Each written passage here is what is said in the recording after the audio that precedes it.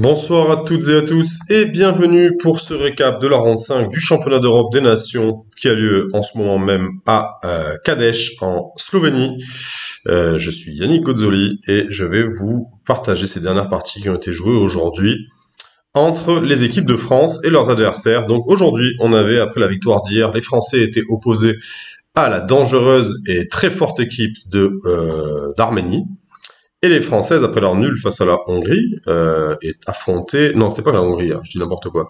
Après leur victoire face à Israël, pardon, euh, devaient enchaîner euh, pour faire leur comeback euh, vers le haut du tableau après leur, accident de départ face à la Suède, affronter quant à elle une, une abordable équipe de Grèce menée par la toute jeune euh, Tsolakidou, Stavrola Tsolakidou. Donc euh, deux matchs a priori à la portée de l'équipe des équipes de France, mais bien sûr face à des équipes dangereuses. Hein. L'équipe d'Arménie n'est plus à présenter.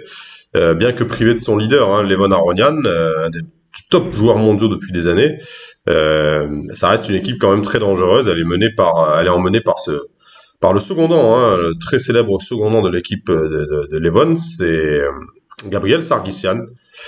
Donc deux matchs très compliqués avant la journée de repos de demain.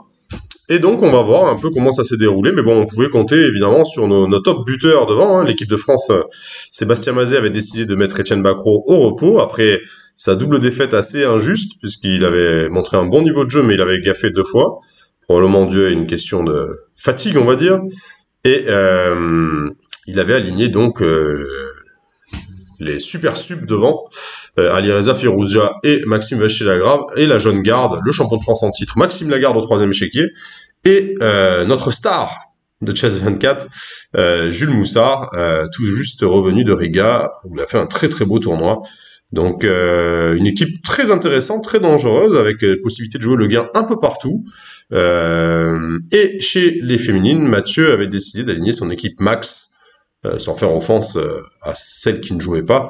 Mais sur le papier, en tout cas, du moins, Hello, c'était l'équipe maximum avec Marie Sebag, suivie de Pauline Guichard, la championne de France, Sophie Millet, sextuple championne de France, et euh, Natacha Benmesba, qui était bien revenue hier en l'emportant, qu'il avait emporté avec les Blancs hier et qui devait aujourd'hui euh, tenir encore une fois la pièce blanche au quatrième échiquier.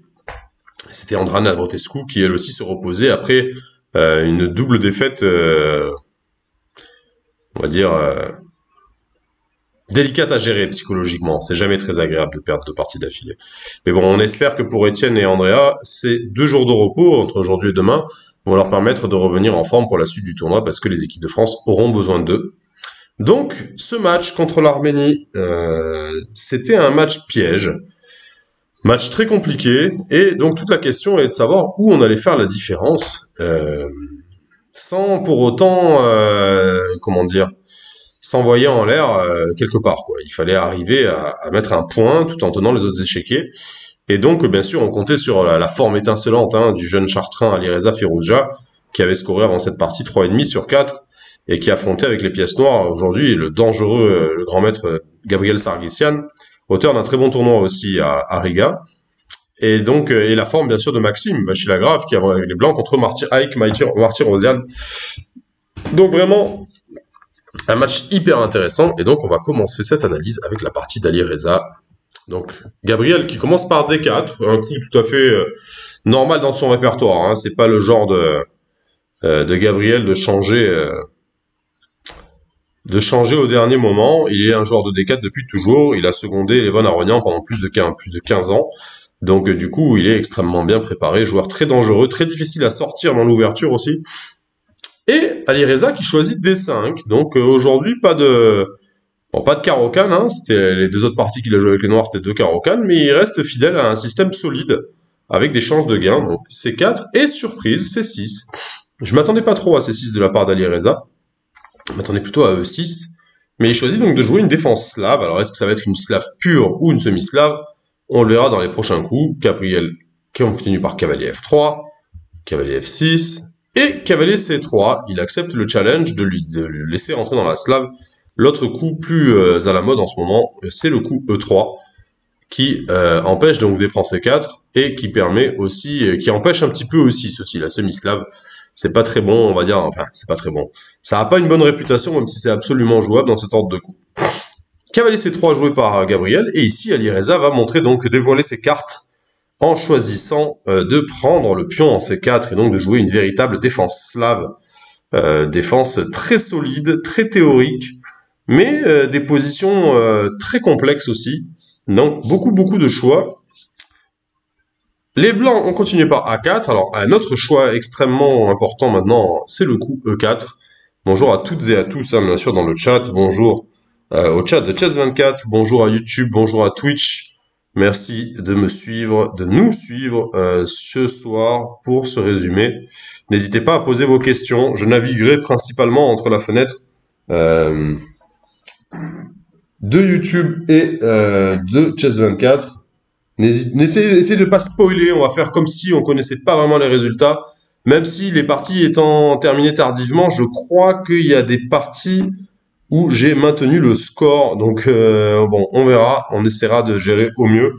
Mais je vais essayer de ne pas spoiler euh, ce qui s'est passé dans les matchs afin de découvrir ensemble, on va dire, et d'essayer de vivre un petit peu euh, le déroulé du match ensemble. Donc E4, c'est le Gambit Geller, très très à la mode dans les années 70-80, du nom du grand maître russe Yefim Geller, hein, qui l'a mis euh, au goût du jour euh, dans les années 80, même avant 70. Euh, l'idée étant, après B5, pendant des années, l'idée était de jouer E5, KD5 et maintenant A4. Et donc c'est une ouverture que j'ai beaucoup joué moi avec les blancs quand j'étais beaucoup plus jeune. C'était une ouverture qui me plaisait beaucoup. avec les blancs bien sûr. Je l'ai joué avec les noirs aussi. Mais une ouverture très dangereuse à jouer des deux côtés. Hein. Franchement, cette ligne-là, elle est plutôt maintenant assez douteuse avec les blancs, même si, bon, on doit pouvoir s'en sortir, on va dire, mais objectivement, euh, c'est assez douteux. Maintenant, le coup à la mode, c'est le coup fou E2, qui est un coup extrêmement à la mode. Pas hyper ambitieux quand on le voit comme ça, mais très intéressant sur le long terme. L'idée étant plus tard de mettre le roi à l'abri le plus vite possible afin d'attaquer la structure de pion sur le dame avec des coups comme B3, A4 et éventuellement peut-être E5. Euh, J'ai vu une partie récente, une partie assez phénoménale, c'était une partie de Boris Gelfand, euh, je me demande si c'était pas au Grand Suisse justement, mais je ne pourrais pas vous dire votre son adversaire. Je me dirais des bêtises. Il avait joué une partie géniale avec beaucoup de dames sur l'échiquier, donc euh, c'est une partie que je vous conseille d'aller voir euh, si vous avez l'opportunité de la trouver. Faites-moi signe et on pourra en parler. Gabriel a choisi le coup A4. Je pense qu'il il était surpris déjà par la prise en C4 d'Alireza. Et donc, il a choisi de rester, on va dire, euh, dans les clous, de ne pas choisir pour un match par équipe une ligne très critique. Et donc, il joue le coup à 4, un coup, somme toute, assez logique, qui a pour but d'empêcher la poussée B5, mais qui a un léger inconvénient stratégique, c'est que ça concède euh, des affaiblissements sur les cases de l'aile dame, notamment la case B4 et la case B3 éventuellement, surtout la case B4. Et c'est problématique dans le sens où les noirs vont souffrir d'un petit manque d'espace, et donc, le fait d'avoir la sécurité de cette case va leur permettre aux noirs d'aller implanter une pièce sur cette case-là, et donc euh, de bénéficier, on va dire, d'un peu plus d'air pour pouvoir respirer. Parce qu'en général, dans les positions fermées, le problématique, c'est les cavaliers. Et là, en l'occurrence, les cavaliers noirs vont pouvoir éventuellement envisager d'aller occuper la case B4. Bonsoir, bonsoir Krusty. Bonsoir Echirex, bonsoir Idir. Fou F5. Alors, il y a d'autres options, bien sûr, ici. Fou G4 est une autre option qui existe, qui a été très populaire aussi au début des années 2000, jouée par, principe par des jeunes Français, euh, que vous connaissez peut-être, qui se nomment euh, Mathieu Cornette, Fabien Wichewski aussi l'avait joué un petit peu, Yannick Gozzoli aussi. Euh, c'était, ça a été, c'était Mathieu qui nous avait converti à cette idée, mais je me rappelle aussi en avoir joué quelques-unes avant, mais c'est Mathieu principalement qui m'avait fait, qui m'avait parlé de cette idée. C'est une idée très très intéressante dont on ne va pas discuter ici. Fou F5, c'est bien entendu le coup principal. Et Gabriel ici va mettre un petit coup de frein à main quand même. Il a décidé de rentrer dans les lignes principales, mais pas trop. Et il choisit la variante hollandaise, le coup E3, la variante la plus solide, mais aussi la moins ambitieuse, entre guillemets, puisque la ligne critique, bien entendu, commence... Alors cavalier H4, c'est aussi un coup possible, mais la ligne critique commence par le coup cavalier E5, bien entendu, qui amène des positions extrêmement complexes. Alors juste pour vous faire un petit petite présentation des forces qui existe dans cette position pour les deux côtés. Donc le coup principal de nos jours, c'est le coup cavalier BD7. Un autre coup qui était assez à la mode, notamment joué par Fabiano Caruana contre Ding Liren au tour des candidats, et très très populaire dans les années 90, c'est le coup E6. Après quoi, on voit l'idée de cavalier E5, l'idée n'étant pas seulement d'aller récupérer le pion en C4, mais aussi de jouer F3, afin d'éteindre ce fou euh, en poussant E4. Mais les noirs ne se laissent pas faire et jouent fou B4, Et en fait, c'est une contre-attaque immédiate euh, sur l'idée E4 puisque après E4, ici, euh, d'autres coups sont possibles. Hein. On peut aussi jouer KE prend C4, suivi de Roi F2. C'était ou Roi F2, non Roi F2 tout de suite, je crois que ça ne va pas. Non, Roi F2 tout de suite, ça va pas, je crois, à cause de Fou C2. Mais je crois qu'on peut prendre en C4. Et ensuite, après Petit Rock, jouer un coup comme Roi F2. Et je crois que c'est ici que Fabiano avait joué un coup comme E5 euh, contre Ding Liren au candidat. Donc E4, ça reste le coup principal, et donc l'idée des noirs, bien entendu, n'est pas de retirer le fou sur la diagonale, mais de manger en E4, et faire cavalier prend E4 avec l'idée de venir en H4, de clouer le KSC3 et d'attaquer le pion de D4. C'est une ligne très complexe, alors bon, voilà, je vais juste vous montrer, histoire que si vous voulez suivre dans le replay plus tard la position critique, c'est celle-là où les noirs, les blancs ici ont plusieurs coups à leur disposition, que ce soit roi C3 ou roi C2. Et donc de longues lignes théoriques découlent de ça, et notamment il y a une partie très célèbre, une partie d'Étienne Bacro face à Vichy Anand euh, en 2009 ou 2010. Je crois que c'était 2009, à Nanjing, tournoi de Nanjing. Tournoi où Étienne avait brillé. Un de ses derniers grands, grands, grands tournois de top niveau. Et il avait fait un excellent tournoi où il avait battu il avait battu beaucoup de monde. Il avait perdu contre Magnus Carlsen, euh, irrémédiablement, qui était déjà redoutable à l'époque, mais il l'avait emporté euh, face à des joueurs aussi très forts, euh, comme Wang Hao, comme Vugar Gashimov, le regretté Vugar Gashimov, comme Vichy Anand. Donc c'était vraiment un très très beau tournoi de la part d'Etienne. Il y avait aussi Veselin Topalov qui jouait. Donc une très belle partie que je vous conseille d'aller voir. Un autre choix beaucoup plus populaire de nos jours, c'est le coup cavalier BD7 dans cette position, avec l'idée tout de suite de poser des problèmes et la question au cavalier en E5. Le cavalier qui revient en C4, et maintenant les noirs ont deux manières de jouer cette position. Ils ont une manière très solide et une manière un peu plus complexe. Et la manière la plus complexe, c'est celle qui a été développée par euh, le joueur russe, le très très fort joueur russe, euh, Alexander Morozevich, qui a joué ce coup Dame C7 avec l'idée de jouer E5. Alors, c'est pas une idée qui date d'aujourd'hui. Hein. C'était, ça, a été un match entre Alekin et Ev. Il y a déjà eu cette, cette, cette position. Donc c'est pas une position qui a été euh, inventée par Morozevich, mais c'est lui qui l'a remise au bout du jour parce qu'après G3 E5, puis on prend E5 qui prend E5, fou F4 cavalier FD7. Pendant très longtemps sur fou G2 ici, c'est des coups forcés tout ça. Les noirs jouaient F6, euh, tout à fait, on va dire, jouable, mais très solide alors que Morozevich a développé l'incroyable coup G5, euh, qui force plus ou moins les Noirs à prendre une décision par rapport à ce clouage. Et donc, on peut pas prendre en G5, bien sûr, puisque le KIC4 sera en l'air. Et une de ses premières parties, ça a été cette position assez géniale. Je me rappelle que quand je l'avais vu pour la première fois, ça m'avait beaucoup surpris. Alors, les positions sont très tendues, mais tendent quand même vers la nulle d'une manière générale, puisque le matériel est assez réduit, déjà et les positions sont assez solides. Donc c'est vraiment une, une ligne très critique. Donc de nos jours, euh, sur G5, on joue plutôt cavalier E3. Et j'ai eu la désagréable expérience récemment de... Je joue cette position avec les noirs, mais euh, ici, d'avoir... Euh, voilà, par exemple, d'avoir joué Dame C2, alors que bon, c'est pas le coup principal que je joue, mais sur Dame C2, le coup principal était KC5, et voilà, des idées comme H5 pour les noirs, afin de jouer H4. Ça ne me rappelle pas des bons souvenirs. Ici, il faut jouer Grand Rock, chose que je savais, mais mon roi, pour une autre, ma main, pour une autre raison, a décidé de m'en mettre mon roi de l'autre côté. Et je m'étais fait mater violemment. Donc, du coup, ça c'est un des autres choix. Et le dernier choix, sur KF prend C4, le plus à la mode en ce moment, c'est de jouer cavalier B6, de reposer la question au cavalier. Ici, les blancs ont beaucoup de coups possibles, on joue cavalier E5, et maintenant on joue A5. Alors le cavalier B6 n'est pas très bien placé, mais on le replacera peut-être plus tard. Il commence déjà sa route éventuellement sur la case B4. Et donc la position noire est vraiment très intéressante. C'est une position qui a pas l'air très dangereuse comme ça, mais sur le long terme, les noirs peuvent, les blancs peuvent vraiment payer le, la, structure de l'Eldam. Hein. C'est-à-dire que ça c'est vraiment, ça peut être très grave ces, ces cases-là. Et si les noirs arrivent à jouer cavalier FD7 et E5 plus tard, c'est le coup libérateur dans ce type de position, pas C5, hein, parce que C5 ça donnerait euh, aux blancs la même case en B5. Les noirs vont essayer de jouer pour E5 et donc de créer cette structure avec 3 contre 2 et l'accès aux cases.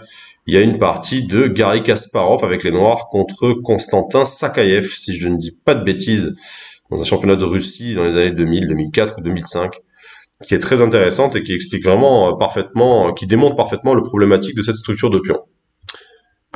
Donc, revenons-en à notre Sargissian qui a choisi E3.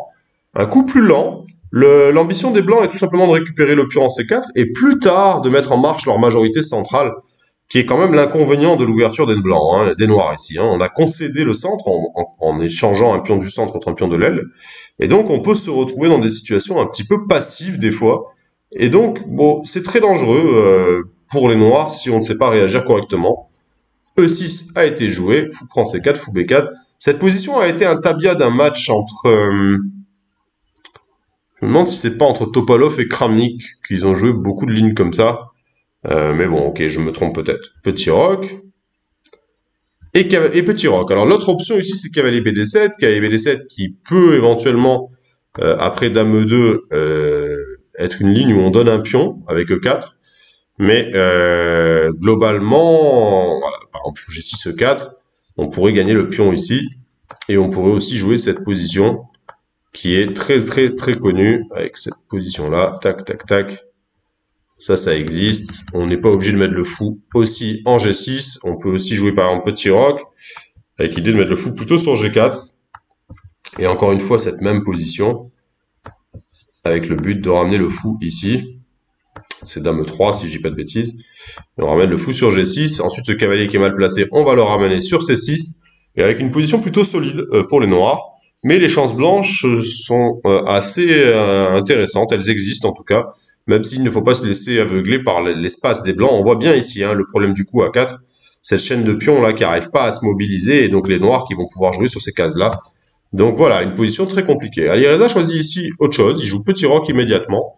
Dame 2, un autre coup possible ici, c'est bien entendu cavalier H4, qui est très intéressant, mais qui est un plus principal sur cavalier D7. Sur cavalier D7, cavalier H4, c'est un coup principal. Euh, partie d'Ivanchuk, si je ne dis pas de bêtises, face à l'Equangliem. Donc petit roc tout de suite, dame 2, donc l'ambition est claire, on veut pousser le coup E4 et fou G6.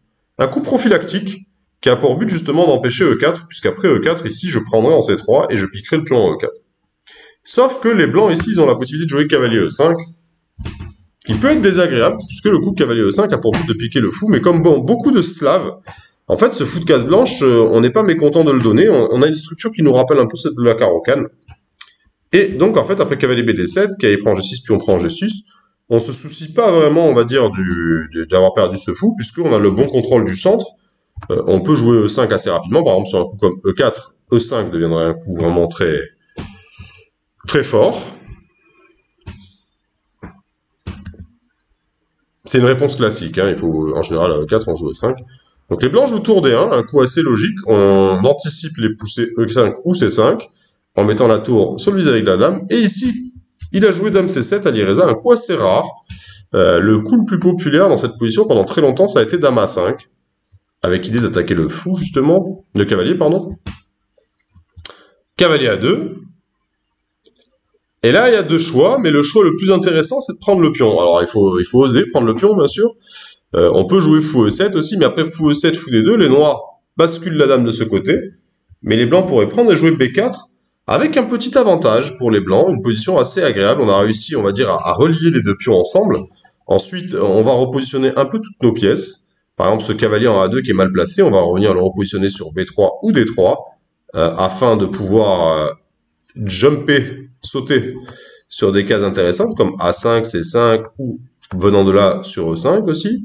Ce fou qui n'a plus rien à faire ici maintenant, on va le repositionner sur la grande diagonale blanche, avec idée justement de faire jouer le coup B5 à un moment. Donc le but des blancs sur le long terme, c'est vraiment d'arriver à faire parler cette paire de fous, euh, qui est quand même censé être un avantage pour nous. Donc là, les blancs auraient un petit avantage assez statique, un petit avantage statique intéressant. Dame prend A4 est vraiment très critique ici. Euh, et l'idée, c'est qu'après Dame prend A4, il y aurait des problèmes éventuellement sur cette diagonale, sur cette colonne. Il y a une partie Christian Bauer, j'ai vu une partie de Christian Bauer qui a joué ça dans les années 4, ah, en 99, championnat d'Europe, qui avait joué cette position. Et il s'avérait être pas très bonne, mais quand même la position était assez complexe, donc euh, à voir. Mais globalement, on joue plutôt E4 ici. Et après Dame A5, E5. Et on a une position très complexe avec des chances des deux côtés. Donc c'était vraiment, c'était la ligne précédente. Dame C7, c'est une ligne beaucoup plus, euh, la ligne précédente, la ligne euh, principale avant. Donc Dame C7, c'est un autre coup intéressant, avec l'idée clairement de jouer pour E5 ici. Les blancs jouent E4. D'autres coups étaient possibles. Hein. Le coup principal, c'est pas E4, c'est Dame C2. Avec l'idée toujours de ramener, de jouer G3 éventuellement. Et hop, de ramener ce fou sur G2. C'est souvent ce que font les blancs dans ce type de position. On peut jouer G3 aussi tout de suite. Hein. Il y a une partie d'Anish Giri où il a joué G3 tout de suite, qui a été joué il n'y a pas si longtemps que ça. Euh, il me semble contre Maxime Vacher-Lagrave d'ailleurs. Donc E4, E5. La réaction thématique. Et là, les blancs jouent D5. On peut prendre E5 aussi. Mais après cavalier prend E5, en fait, les noirs, ils vont avoir euh, l'accès à cette case. Et malgré le coup fou B3, par exemple, euh, on pourrait craindre éventuellement des poussées F4, mais ça peut même devenir plus dangereux pour les noirs, pour les blancs en fait, que pour les noirs. Maintenant, un coup comme fou C5, avec l'idée de jouer K et G4, et on va jouer plus tard tour à D8, et commencer à visser cette case D4. Et vraiment, la position n'est pas simple à jouer pour les blancs. Vraiment pas simple. À noter que par exemple, tour E8 serait un coup possible, puisque le coup F4 ne marcherait pas à cause de fou prend C3, puis on prend C3, et dame B6 échec avec une double attaque. Et la position blanche deviendrait complètement catastrophique. Ça serait pas terrible, ça. On voit très bien, la chaîne de pions ne va pas. Le pion E4 va tomber. C'est pas bon du tout, ça. Donc D5, c'est un coup assez logique. Fou prend C3. D'autres coup, c'est tour à D8. Fou prend C3. Et là, un coup intermédiaire important, le coup D6. Tout ça est théorique encore, hein, je vous dirai quand ça s'arrête. Alireza a joué très très vite ses coups. Hein. Euh, Gabriel a commencé à jouer beaucoup plus lentement déjà quand Alireza a joué, a joué fou F5. Il a commencé à réfléchir beaucoup plus. Mais je vous dirai à quel moment Alireza s'est arrêté de blitzer. Donc dame à 5, puis on prend C3, B5. Fou à 2. Alors ici, il y a une autre... Alors la position déjà est extrêmement compliquée. On a l'impression déjà ici que les blancs sont beaucoup mieux, avec ce pion passé en D6 et cette paire de fous euh, assez phénoménale. Mais en fait, euh, les possibilités noires sont très intéressantes, puisque les noirs vont avoir la case en C5 pour leur cavalier, et l'autre cavalier va pouvoir euh, prendre le relais en D7 pour soutenir le cavalier en C5. Donc la position noire reste très très solide, et ce pion D6, pour l'instant, est bien sous contrôle. Cependant, la paire de fous des blancs va servir sur le long terme. Elle est hyper utile, cette paire de fous, comme on le verra dans certaines lignes. Mais c'est vraiment extrêmement complexe d'évaluer correctement euh, cette position. Si vous mettez l'ordinateur, l'ordinateur mettra toujours égal, euh, léger avantage blanc. Mais en termes de pratique, c'est une position où les blancs vont devoir jouer très précisément pour essayer seulement d'avoir un petit avantage. Et c'est un peu ce que j'ai remarqué depuis le début du tournoi avec Ali Reza. Il joue beaucoup de positions comme ça où les blancs doivent faire preuve d'une extrême précision pour arriver, on va dire, à obtenir, ne serait-ce que déjà obtenir un léger avantage. Donc, ici, Gabriel va jouer fou à 2, qui est le coup normal. Il y a une autre idée qui existe ici, c'est le coup fou D3.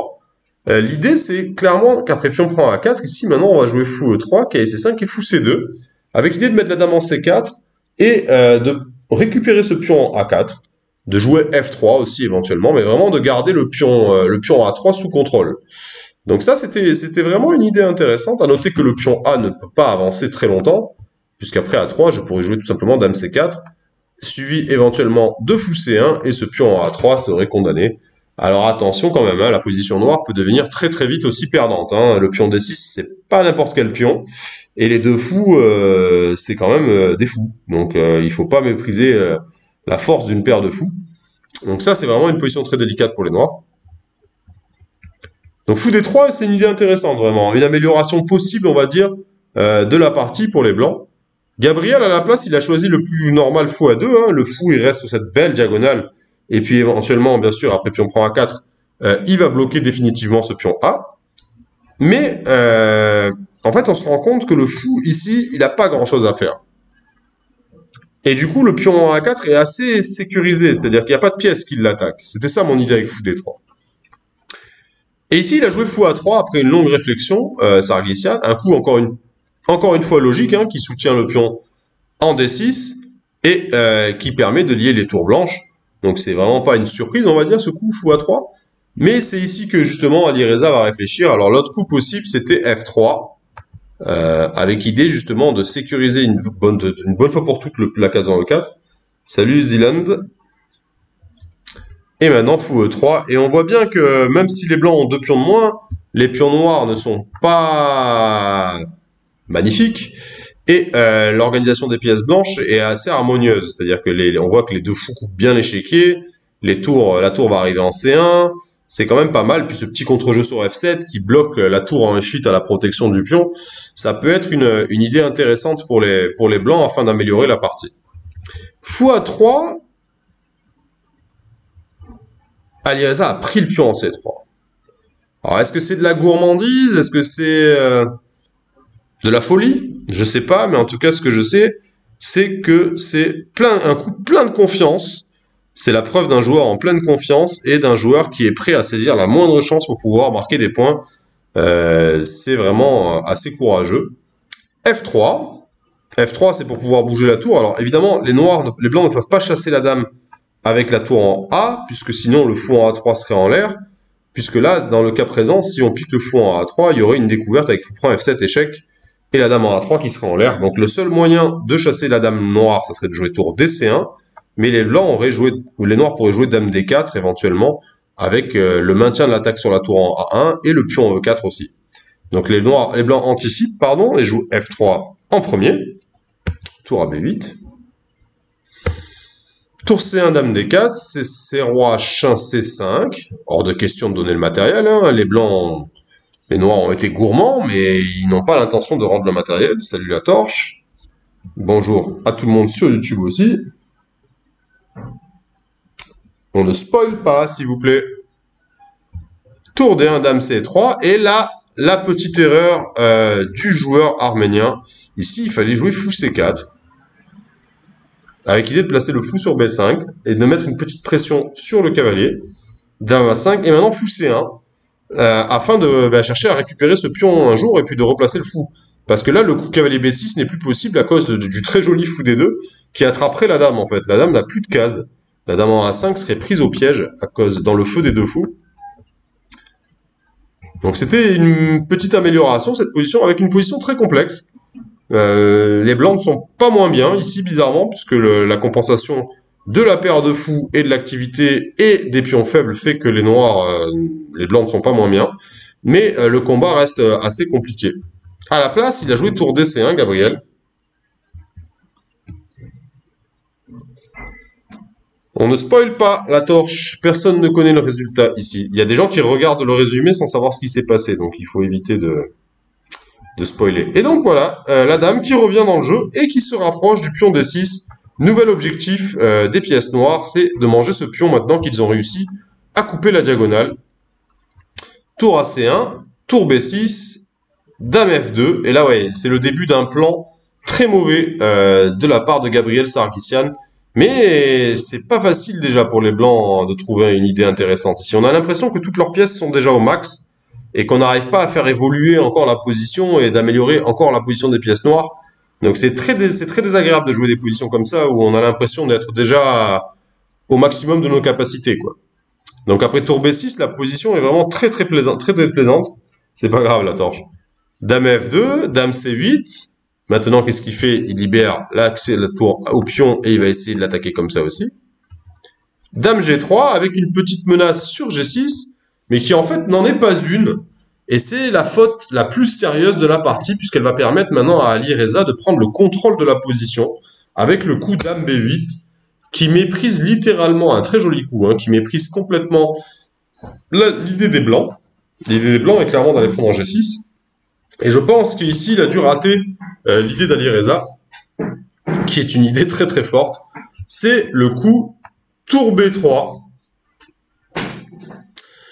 un coup qui fait très très mal, hein, le coup de tour B3, puisqu'on attaque le fou. Ce fou euh, n'a pas de case, tout simplement. Donc, euh, qu'est-ce qu'on peut faire? Si on prend la tour, après dame prend, maintenant la dame attaquerait le fou, et en plus, maintenant le fou ne cloue plus, donc du coup on attaque aussi la dame. Donc les noirs vont piquer le fou au prochain coup, et donc se retrouver avec deux pièces pour la tour et une position gagnante. Alors qu'est-ce qu'on peut faire? On peut protéger le fou. Et maintenant, si on protège le fou, les noirs peuvent jouer tour C3, qui réitère l'attaque sur le fou. Et ce fou doit maintenir, on doit maintenir le fou sur la diagonale, hein, on n'a pas le choix. Hein. Donc la seule case disponible, c'est la case A2. Sauf que maintenant, la case A2, le fou en A2, il intercepte la protection du fou, et je peux donc prendre le fou. Même si, bon, je vais quand même obtenir deux pièces euh, pour la dame. Mais euh, la position noire est clairement gagnante ici, avec la dame qui va arriver sur B4, le est sur B6, et tous les pions noirs vont commencer à avancer. Donc, une position complètement euh, sans aucune chance pour les blancs. Donc il a joué fou à 2. Et tour prend D6. On pique le pion. Dame prend G6, tour prend D1, tour prend D1, et là encore un coup. On voit hein, dans cette position, euh, on a l'impression que les noirs ont un peu de jeu, mais le problème de cette position, pour les blancs ont un peu de jeu par contre, le problème de cette position, c'est, on va dire, le manque de coordination des pièces et des blancs, en fait. Euh, la dame ici, elle est toute seule, elle est trop loin de ces pièces-là qui sont en l'air, euh, de la tour qui est aussi en l'air, et Alireza ici va jouer un coup très très fort qui souligne parfaitement tout ça. Il va jouer le coup Dame B5. Dame B5 qui menace euh, le terrible Dame 2, par exemple, mettons sur un coup comme H3. Ici, on peut jouer Dame 2 avec double attaque. Double attaque sur A2 et sur D1. Donc la tour est obligée de venir protéger tout ça. Et boum Dame prend A2 qui élimine le fou qui clouait F7. Et on pique la Dame G6 au prochain tour. Donc là, les blancs sont obligés de reculer leur dame en, ben, en G5 afin d'éventuellement ramener la dame sur D2 pour empêcher l'infiltration de la dame 2. Sauf que maintenant, ben, tout simplement, les noirs ont trois pions de plus, deux pions de plus pardon, dans cette position. Alors l'espoir des blancs serait que euh, les fous peuvent contrôler les pions, mais le truc c'est que les cavaliers ici vont être d'une utilité exceptionnelle. Et en fait la position est déjà complètement perdante pour les blancs. Vous allez voir la technique, la facilité technique avec laquelle Ali Reza va transformer son avantage. Donc voilà, hein, on va le faire au ralenti. Première étape, mise en marche du pion. On le protège. En même temps, le fait d'avoir mis en marche le pion, ça donne la case C5 pour le cavalier noir, ici, qui va venir se rendre en, en C5. Et cette case C5, elle est très importante, puisque d'ici, le cavalier va pouvoir avoir la possibilité de se replacer sur la case D4. Et on va y aller soit par B3 et D4, soit par E6 et D4. Et du coup, les cavaliers vont dominer complètement l'échiquier. Donc cavalier FD7, roi E3, cavalier C5. N'hésitez pas hein, à poser vos questions si vous en avez. Je ne sais pas, j'ai l'impression que ça a complètement bugué sur YouTube. Je me suis trompé peut-être. Est-ce que vous pouvez me dire si ça marche sur YouTube? Est-ce que je suis censé avoir activé tout ce qu'il faut Oui, oui, c'est marqué en direct.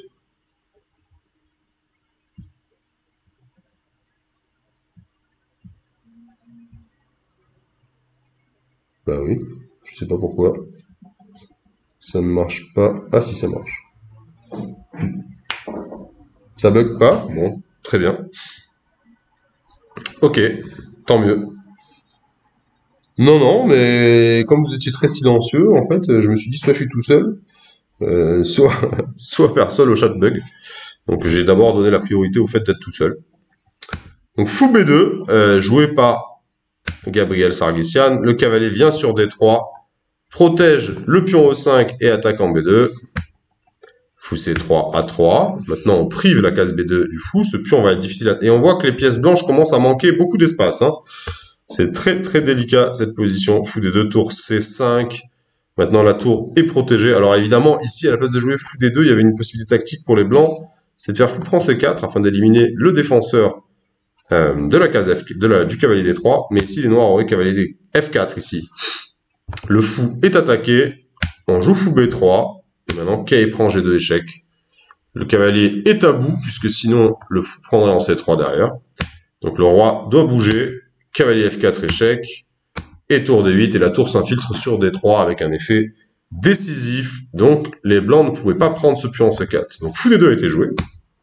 Les noirs ont joué tour C5, avec l'idée éventuelle de venir ici. Roi E2, cavalier F4 échec, F1, tour B5. Ça sent pas bon. Ça sent pas bon pour Sarglissian, cette position. Fou C1, alors évidemment C4 n'est pas prenable. Pour une raison très simple, c'est qu'il y a échec. Et le petit pion Qui court, qui court Donc fou C1 joué, tour B3. Quelle pointe tour B3 Magnifique pointe, hein. toutes les pièces étaient placées pour ça. Tour prend C4 joué, évidemment, fou prend B3 n'aurait pas aidé, puisqu'après pion prend B3, B2 est tout simplement imparable. À noter que les noirs n'ont pas l'échec, les blancs n'ont pas l'échec en C8, hein. sinon tour C8 échec suite fou prend A3 serait une option valable. Mais ici, euh, c'est juste pas possible. Du coup, tour prend C4 joué, K prend C4, et là, vous allez voir, cette position, c'est magique. Le balai des cavaliers noirs qui vont euh, dominer les fous blancs. C'est très très rare. Cavalier D3. Attaque le fou de case noire. Alors, on peut pas prendre en C4, puisqu'après, cavalier prend C1, en fait, le coup A2 est imparable, tout simplement. Donc, du coup, les noirs, les blancs ont bougé le fou sur la seule case qui avait disponible, c'est la case G5. Toutes les autres cases étaient prises par les cavaliers. Ou par le, oui, par les cavaliers, donc fou G5. Cavalier A5 force le fou blanc à bouger. Et on est obligé de bouger en plus le fou sur la colonne, euh, sur la diagonale, donc fou A2. Et cavalier B4. Le fou qui n'a plus de case sur la diagonale. Donc si le fou bouge en B1, on va tout simplement jouer A2. Donc Sargissian a joué fou C, fou D2. Cavalier prend A2, fou prend A5. Et maintenant cavalier C1. Et en fait, le pion va être tout simplement promu en une nouvelle dame. Et dans cette position désespérée, Gabriel Sargissian a abandonné. Et donc, nouvelle victoire d'Aliriza Firouzja avec les Noirs face à un très fort joueur qui est Gabriel Sargissian. Et bon, ça commence à devenir très impressionnant tout ça. Puisque déjà, battre Hager avec les Noirs, c'est chaud, il l'a fait, et de quelle manière? Battre Erdos avec les Noirs, c'est pas facile du tout, et il l'a fait encore d'une manière dont on se rappellera toute notre vie, je pense. Mais battre Gabriel Sargissian avec les Noirs, c'est pas donné à tout le monde, et il l'a encore fait. Et quel buteur pour l'équipe de France, il porte son score à 4,5 sur 5. 4,5 sur 5 au premier échec de l'équipe de France c'est stratosphérique. Et avec cette victoire, en plus, Alireza Firouja euh, rentre dans le top 3 mondial. Il dépasse Fabiano Caruana euh, dans le top mondial et devient numéro 3 mondial avec un Hello virtuel à 2793, je crois. C'est juste euh, hallucinant ce qu'arrive à faire Alireza Firouja dans ce tournoi. tout ça sans avoir pris de repos. Hein. Il a joué Riga comme tout le monde. il joue toutes les parties. Il a une énergie mais complètement incroyable. Donc euh, bravo, bravo à Yereza et félicitons-nous d'avoir un, premier échec qui met beaucoup de points et donc ça donne un peu le tempo hein, pour nos pour ses coéquipiers. Ça doit être un vrai plaisir de jouer à côté d'un joueur comme ça qui est capable de battre n'importe qui avec n'importe quelle couleur. Donc franchement, euh, un grand bravo euh, à ce jeune joueur qui montre de plus en plus qu'il a le potentiel hein, pour être le futur numéro un mondial. Donc l'équipe de France était mise sur de bons rails assez rapidement. Euh, et donc, euh, on va voir 1-0 pour la France. On va voir comment s'est passée la suite. Maxime Vachier-Lagrave avait les Blancs face à un jeune Arménien, Aïk Marty-Rosian. Pas de son eh, Il y a du Pourquoi pas de son? C'est une blague ou c'est vrai?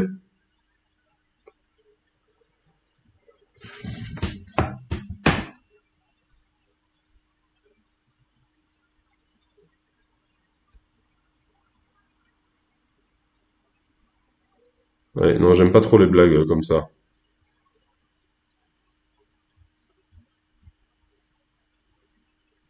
Ah, ok. Attention, hein, moi je suis pas tech fraise. Hein. Si vous me, si vous me faites un, si vous me faites une blague euh, comme ça, je banne tout de suite. Hein. Attention. Euh...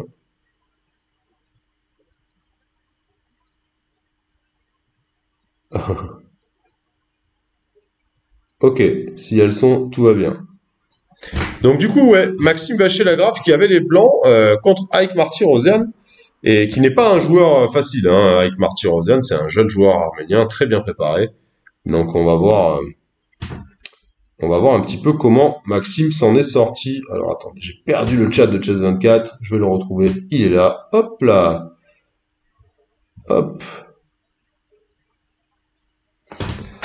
Du coup, Maxime a commencé par son habituel E4, éventuellement, ok, il peut jouer D4, maintenant aussi, il peut jouer C4 aussi, mais pour ce match en équipe de France, je pense qu'il préfère euh, rester dans les clous. E5, cavalier F3, KC6, fou B5, et là, un choix très très responsable de la part du jeune arménien, cavalier F6, le jeune arménien qui propose à Maxime de jouer la finale de la berlinoise, euh, en sachant que Maxime en a gagné beaucoup, et qui est le seul, d'ailleurs je pense que c'est le seul dans le monde en ce moment, à régulièrement accepter de jouer la berlinoise. Hein. Il y a pas de, je connais personne qui joue euh, la finale de la berlinoise de manière aussi régulière que Maxime, même si de temps en temps il choisit un petit D3 ou un petit comme ça. Mais D3, ça souffre en ce moment hein, pour les blancs, c'est-à-dire que les blancs n'arrivent pas à, créer quelque chose de concret. Donc du coup, euh, moi, à mon sens, c'est le seul chemin pour trouver l'avantage pour les blancs, cette finale. Je vois pas, je vois des tests, on va dire, dans les autres lignes, c'est-à-dire, allez, on essaye, on voit ce que ça donne, mais honnêtement, je vois pas d'autre euh, manière avec les blancs de, de fighter pour, de, se battre pour l'avantage. Donc, k D6, cette ligne est forcée, H3, tout ça est très, ok, bon, évidemment, il y a des alternatives à tous les coups, hein, fou D7 ici, enfin, il y a beaucoup de choix, roi 8,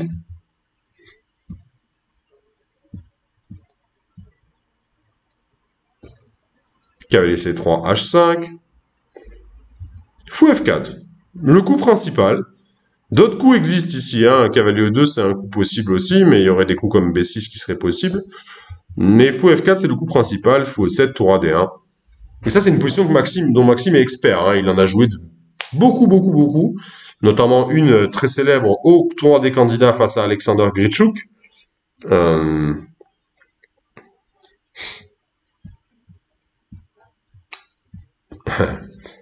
Et donc ici, le jeune, le jeune Arménien qui a surpris Maxime avec un coup très rare dans cette position. Alors le coup principal dans cette ligne, c'est fou E6. KG5 et maintenant tour H6, cette fameuse manœuvre de tour euh, pour venir suppléer le, pion F7 à la défense euh, du fou en E6. Tour 1 et fou B4 avec cette fameuse variante très complexe et on se rappelle très bien de Maxime qui blitzait euh, sa préparation euh, à toute blinde contre Alexander Gritchuk et Alexander qui trouvait chaque fois le seul moyen euh, de s'en sortir et qui a même failli d'ailleurs prendre l'avantage. Donc c'est vraiment une ligne très complexe. Mais là, donc Marty Rosian décide de ne pas affronter Maxime sur ce terrain, mais de jouer cavalier H4. L'idée initiale hein, de cette idée avec fou E7, c'est d'aller échanger très rapidement le cavalier F3 de façon à simplifier les choses. Alors, je vous rappelle les enjeux de cette position. Euh, les noirs, on a le même nombre de pions. Au niveau matériel, les noirs ont la paire de fous. Mais euh, les blancs ont une majorité sur l'aile roi parce que euh, la majorité noire sur l'aile dame ne peut pas être considérée comme une majorité puisqu'elle est sur le même nombre de colonnes que les pions blancs. Donc même s'il y a 4 pions contre 3, c'est assez facile pour les blancs de contenir l'avancée de ces pions. Donc les noirs en sont en général dans l'incapacité de pouvoir créer une majorité sur ce côté-là.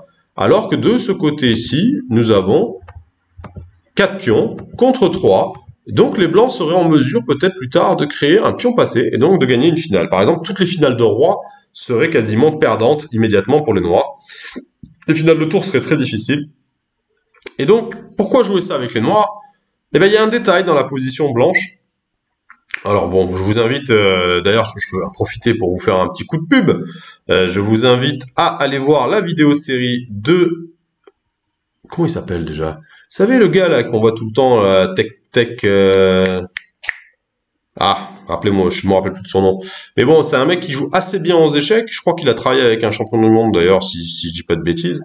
Et qui d'ailleurs, il vient de faire une vidéo série, euh, surtout, enfin, c'est Emmanuel Neyman qui a fait une vidéo série avec lui euh, sur The Magnus Method. Donc je vous rappelle encore une fois, ce code promo euh, TMM30 qui vous donne 30% de réduction si vous n'êtes pas déjà premium pour devenir euh, membre premium de Chess24 et avoir accès à toutes nos vidéos. Et donc, bien sûr, en plaisantant, je parlais de la vidéo série de Laurent Fressinet sur euh, la, la défense berlinoise. Une défense bien sûr très à la mode, hein, plus qu'à la mode, c'est la défense principale, on va dire, depuis les années 2000.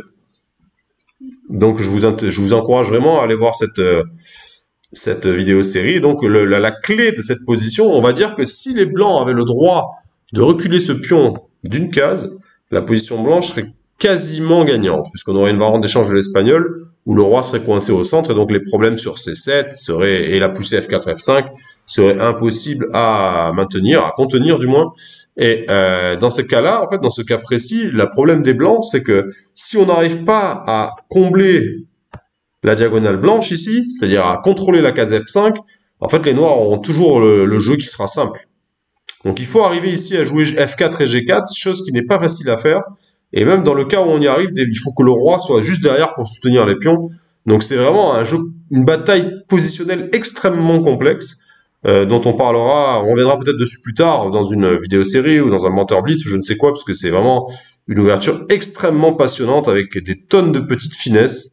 Euh, je me rappelle, moi, m'être mis à jouer cette ouverture au début des années 2000, euh, en regardant les parties de Tony Miles et de euh, Markowski, Thomas Markowski, le grand maître polonais. Il y avait un joueur français aussi qui était très spécialisé dans cette ouverture, c'était le grand maître David Marciano, qui jouait cette ligne bien avant que tout le monde s'y mette.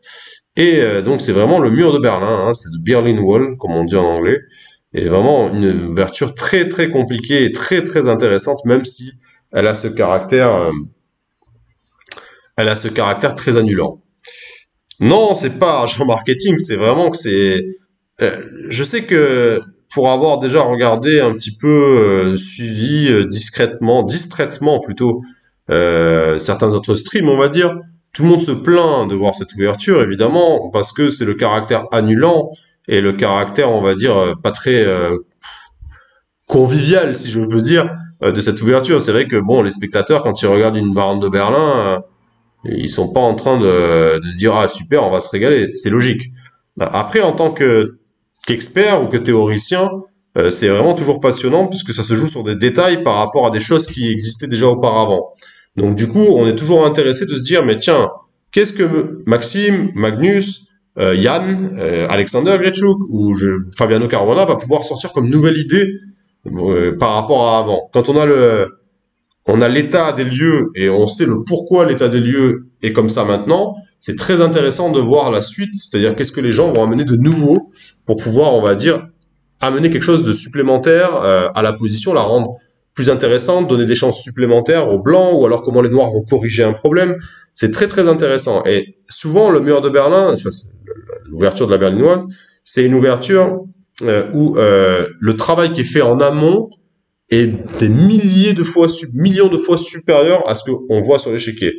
Euh, pour avoir secondé Étienne pendant très longtemps, j'ai travaillé beaucoup la, berlinoise, et je peux vous dire que c'est une des ouvertures les plus complexes à analyser, puisque si vous mettez, vous vous contentez juste de mettre l'ordinateur, l'ordinateur il va toujours vous mettre 0, 0, 0, 0, ou maintenant du, allez, le chance de gain maintenant avec 50%, euh, 51%, mais en fait, souvent, euh, il met même du un petit avantage blanc là où il y en a pas. Il met l'égalité là où ça ne l'est pas l'égalité.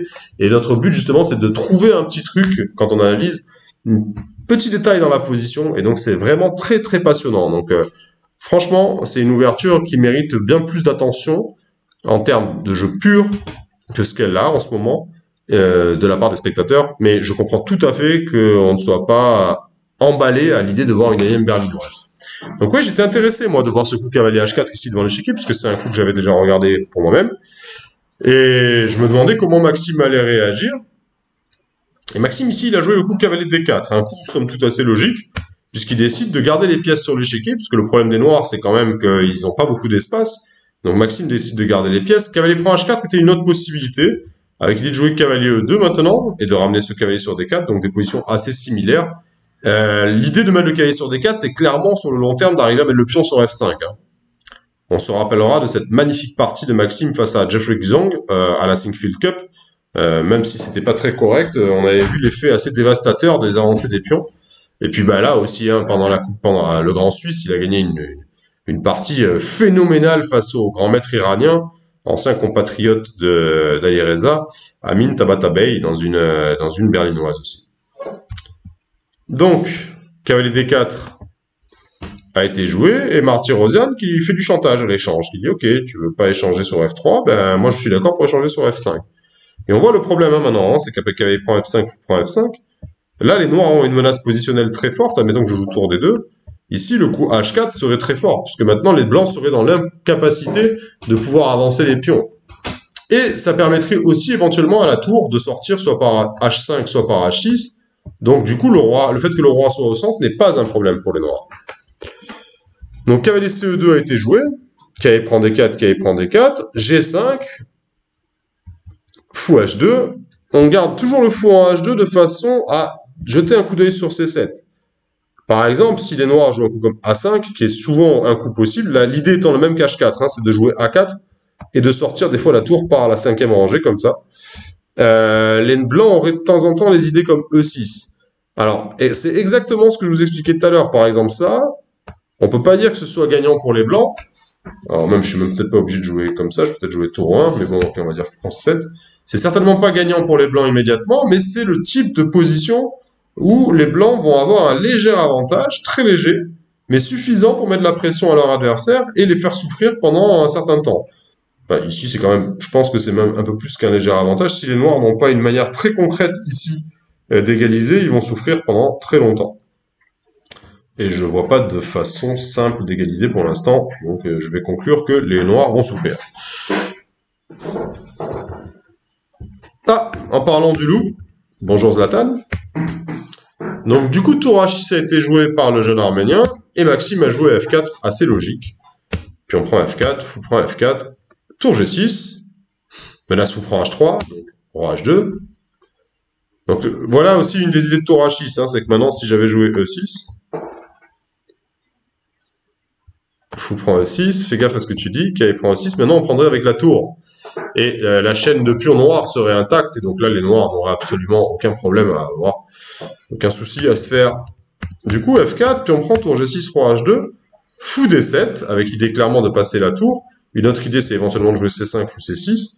Je vendais ta...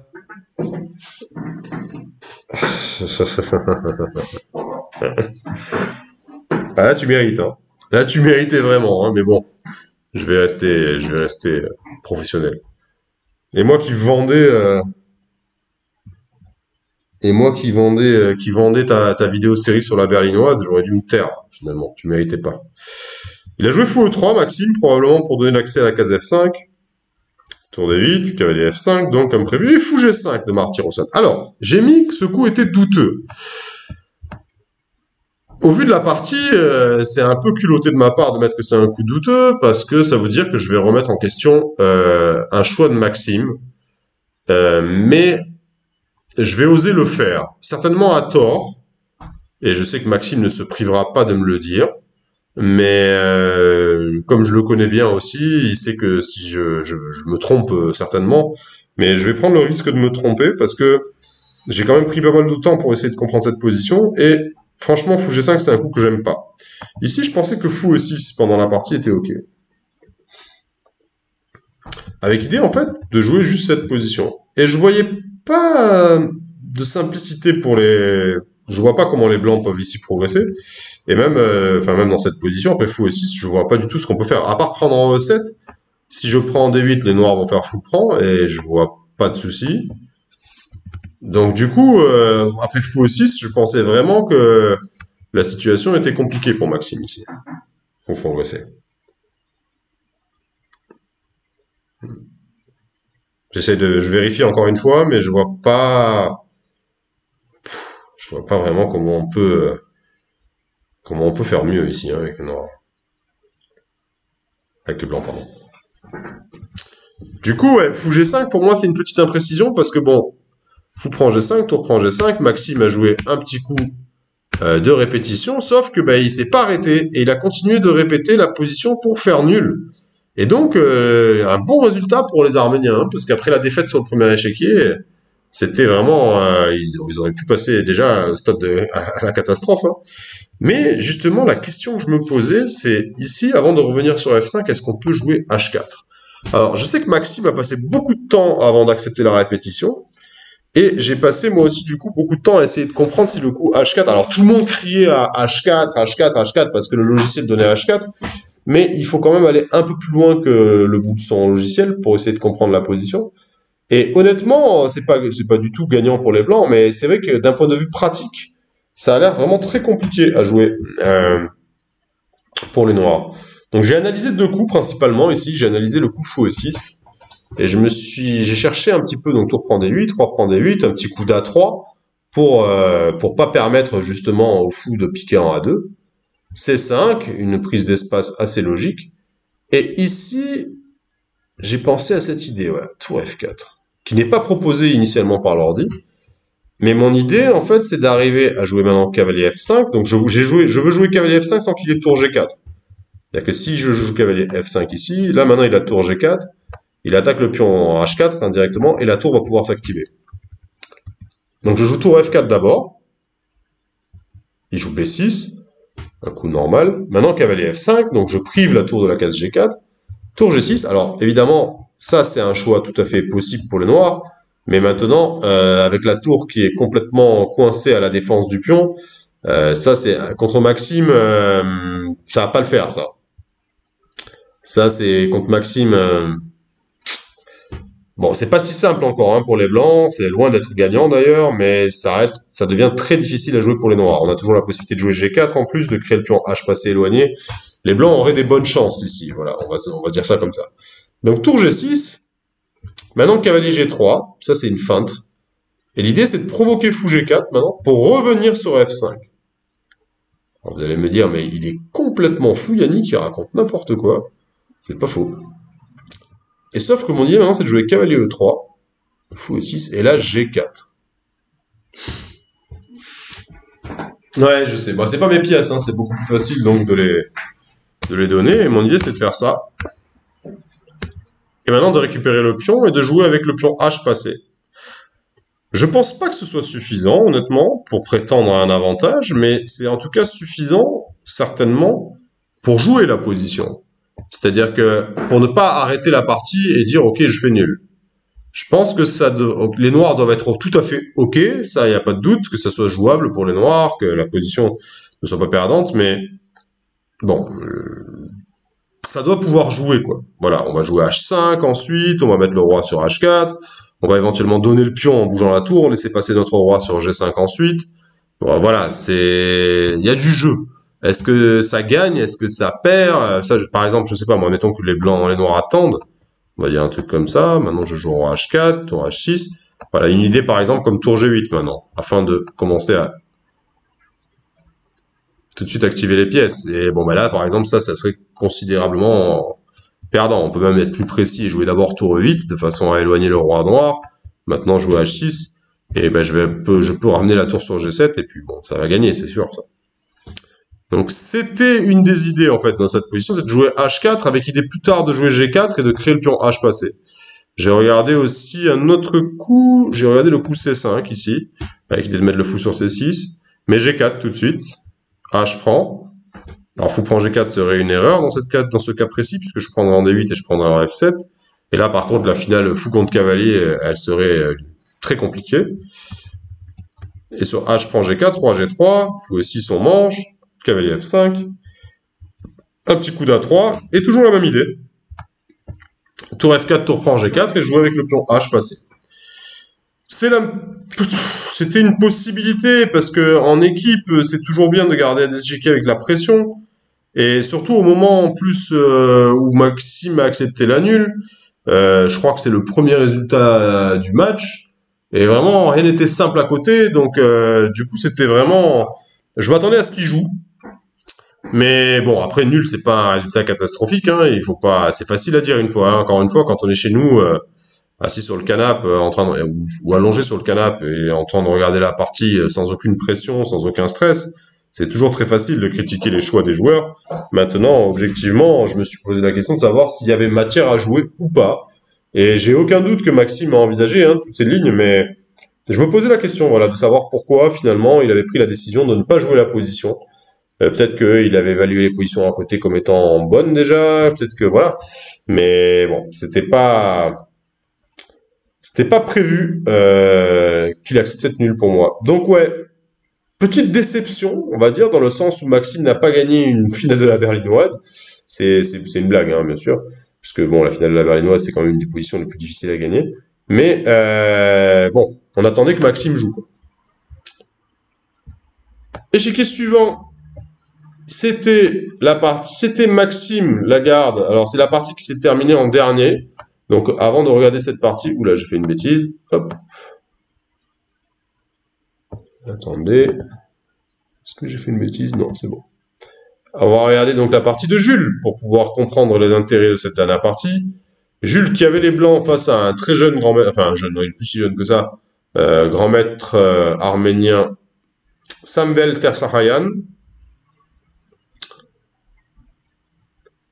Et on va retrouver cette, euh, cette avec H3 que Alireza, Alireza il avait joué dame sur fou E6, c'était fou E6. Il avait joué dame D2 et A. Et là donc sur fou E7, on joue d'abord H3. On joue d'abord H3 pour ne pas permettre cavalier G4. Et on va essayer de jouer F4 euh, sans perdre le temps de jouer F3. Mais ici, euh, Tersarakan, il a joué H6. Un coup assez surprenant. Euh, plutôt responsable, j'ai envie de dire, puisqu'il faut oser. Euh, non, Nicolas Vedel, sur YouTube, je suis... Non, c'est c'est la berlinoise, c'est une ouverture intéressante à travailler. Euh, c'est paradoxal de dire ça parce que c'est pas une ouverture passionnante du tout, mais c'est tellement fin que du coup se poser les questions plutôt que de dire ah ça m'intéresse pas, c'est trop mou machin et tout ça, se poser les questions sur son fonctionnement, c'est quand même quelque chose d'assez ludique dans le sens où pas ludique, mais c'est quelque chose qui fait progresser. C'est quelque chose de vraiment euh, intéressant c'est fin, c'est pas concret en fait. C'est sûr que vous aurez plus l'impression de progresser en faisant des exercices tactiques que vous allez trouver, euh, en tout cas vous allez comprendre, plutôt que d'aller une berlinoise alors que les finesses sont extrêmement fines. Mais euh, pour moi, à mon sens en tout cas, c'est beaucoup plus intéressant de travailler les finesses aux échecs. Euh,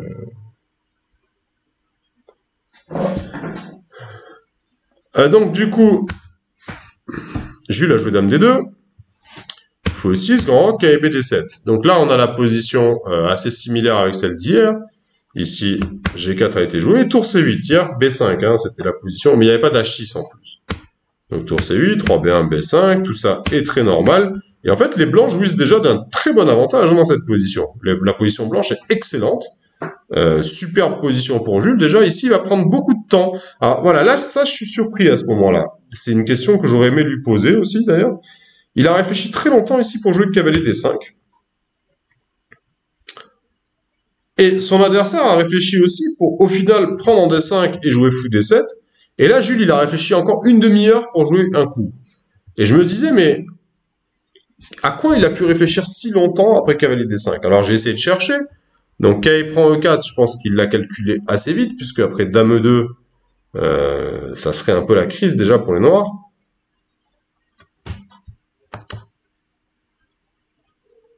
Puisque si on revient en F6 basiquement, oula, j'ai un bug.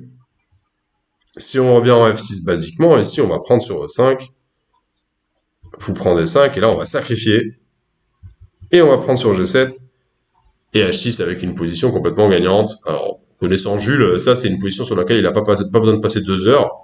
Euh, je le connais, ça il l'évalue tout de suite comme gagnant. Hein. Il voit le cavalier qui arrive sur F5, le fou qui arrive en G2, la tour qui arrive. Et bon, voilà, euh, Julio, qui va pas passer deux ans à comprendre cette position. Donc ici, l'autre possibilité, c'est éventuellement de prendre. Et après de tour prend de jouer cavalier F6. Celle-là, elle est peut-être un peu plus complexe, parce que du coup, c'est le cavalier qui est sur D5. Mais c'est la même, en fait. Et sur tour Oula, oula, oula, oula, oula, oula, oula. J'ai appuyé n'importe où, là. Pardon Pourquoi il y a ça qui est allumé, là? Voilà. Je pense que j'ai réglé correctement. Ouais, c'est bon. Et c'est relativement, ouais, c'est quasiment la même position ici. Hein. Et sur un coup comme tour H7, ici, on va juste revenir en D4. Et avec la position de la tour et du cavalier, on va avoir un dame 4 qui va arriver. Ça va être terrible. Ok, Tersarayan, il a choisi un coup logique, il a fait cavalier prend. L'autre coup, c'était éventuellement prendre avec le fou. Puis on prend. Et petit roc. Mais ici, pareil, on va jouer le coup dame G2 qu'on a vu hier hein, déjà dans l'analyse de la partie contre euh, Dalireza. On va jouer Dame G2 de façon à pouvoir mettre la pression sur le roi. Et on voit tout l'inconvénient du coup H6 ici, hein, c'est qu'on va très rapidement pouvoir pousser les pions. Alors bon, c'est pas si simple encore, les noirs peuvent jouer quelque chose, j'avais regardé quelque chose comme ça. Et c'est vrai qu'on a du mal à avancer, mais tout simplement un coup comme cavalier D4 va nous permettre ici de va nous permettre ici de s'installer très rapidement, soit sur la case C6, soit sur la case F5, avec une position blanche qui est très très agréable. Donc ici, il a fait KE prend D5, Tarsarayan. Sarakan, pardon. Fou D7. Et là, donc, grosse réflexion de Jules ici, pour jouer le coup fou D3. Alors là, c'est un coup qui m'a surpris, le coup fou D3. Mais, euh, en même temps, c'est pas si facile de trouver le meilleur coup pour les blancs ici. J'imagine que sa première intention, ça a été de jouer un coup comme KE D4. Sauf qu'après Rock, en fait, on, on voit pas trop comment ils avancent ici les blancs, parce qu'il y a toujours fou G5 qui arrive. Donc du coup, euh, c'est pas évident en fait cette position. C'est très piégeux. La bonne ligne, elle n'est pas facile à trouver, c'était de prendre en E5 ici. Un coup complètement... Mais c'est vraiment pas naturel du tout de donner ce fou de case noire à mon sens. Et l'idée maintenant, c'est de jouer fou D3 et de profiter du pion en H6 de façon à profiter de cette diagonale, tout simplement. Il y a qu'après petit roc, on joue dame 2. On menace des dames 4. Euh, on menace de ramener le cavalier sur F3. Et puis ensuite de jouer tour G1, H4 avec une position noire difficile, hein, à cause du coup H6, encore une fois, et du pion E5 qui est en l'air. Par exemple, fou D6 heurterait tout simplement à cavalier D2. Et le cavalier qui va arriver sur la case E4, et une fois que le cavalier va être centralisé sur E4, ça va être une catastrophe à jouer. Donc pour moi, fou prend E5, c'est pas un coup naturel du tout. C'est facile de crier euh, à la gaffe après, de dire mais pourquoi Jules t'a joué fou D3, mais euh, fou prend E5, c'est... Je suis pas un joueur de E4, hein, je suis pas un joueur naturel de sicilienne avec les blancs. Donc, euh, du coup, pour moi, ça me semble pas trivial, en fait, de faire fou prendre 5. Maintenant, oui, c'est-à-dire qu'une fois que je l'ai vu, que je l'ai analysé, que j'ai compris pourquoi il fallait le faire, ok, ça me semble très logique, mais quand on est sur l'échiquier et qu'on doit prendre cette décision, euh, c'est pas beaucoup plus simple. Fou des 3, cela dit, me semble pas cohérent non plus. Donc, du coup, j'ai un peu plus de mal à comprendre fou des 3. Mais bon, fou F6, qui est une erreur, ici, de Ter Sarakian. Grosse erreur, fou F6. Il fallait roquer, il fallait prendre d'abord et roquer ensuite. Un enchaînement de coups assez logique. Avec dit après tour C4, de passer les tours. Parce que là, le coup fou F6, il permet au blanc de jouer un coup extrêmement fort que Jules a loupé. Jules, il a loupé KD4, mais il y avait le coup Dame B4 ici qui était très très fort. Et très embêtant. Euh, on attaque le pion, donc Dame E7. Il y avait un autre coup qui était possible ici, c'est Dame B6. Mais Dame B6, ici, euh, maintenant je joue Dame 4. C'est ça mon idée. C'est que maintenant, on ne roque plus avec les blancs, avec les noirs, pardon. Et du coup, après, on va commencer à mettre la pression, ramener le cavalier, et le roi reste au centre à cause de cette euh, batterie sur la diagonale. Donc Dame 7, c'était l'autre idée. Avec idée maintenant, du coup, sur Dame 4, de pouvoir prendre le fou en D3, ou éventuellement de jouer KS4, et donc la, la colonne était fermée. Mais ici, un coup très très fort, et je ça m'étonnerait pas qu'il soit, enfin, il est très facile à louper ce coup. C'est le coup H4. Un coup extrêmement fort, mais très très dur à trouver. Donc le pion G4 n'est pas prenable, puisque cavalier prend G4 se heurterait à fou prend D6, avec une position noire sans espoir. Euh, on peut pas prendre avec le fou non plus, parce que fou prend E5, et d'un coup, on a libéré l'accès au fou, et donc du coup, après fou prend D1, on prendrait d'abord sur D6, pour ensuite prendre la tour en D1, le fou en D1. Et on ne peut pas prendre en H4 non plus, à cause de tour prend H4. Dame prend H4, Dame prend D6, K prend D3, et tour prend D3 tout simplement. On ne craint pas l'échec ici en E1 ou en H1 puisque cavalier C1. Et maintenant, on va jouer tour E3 et le roi noir va se retrouver dans le beau drap. C'est une position très complexe pour les noirs à gérer. Et en fait, après H4, j'ai pas trouvé coup facilement pour les noirs ici. C'est une position vraiment très très désagréable. Probablement que le seul coup reste le roc ici, c'est pour vous dire à quel point c'est compliqué. Et après G5, maintenant de prendre sur D3, et prend par exemple, et de jouer fou E5. Et après puis on prend H6, jouer G6.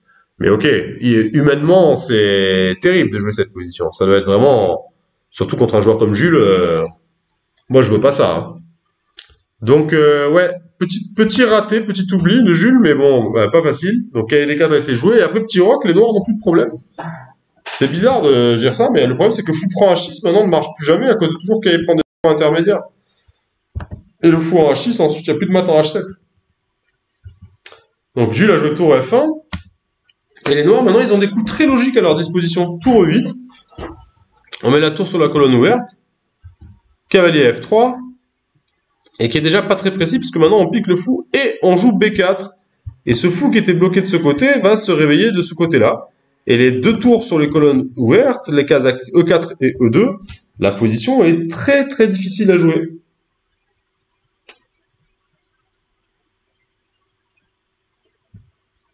Bonsoir Antoine Jalon et merci du message. Euh, oui, oui, c'est pas facile hein, d'analyser au dernier moment, mais bon, après on va pas se plaindre, c'est quand même très passionnant et c'est très intéressant. Euh, la position est très très difficile à jouer.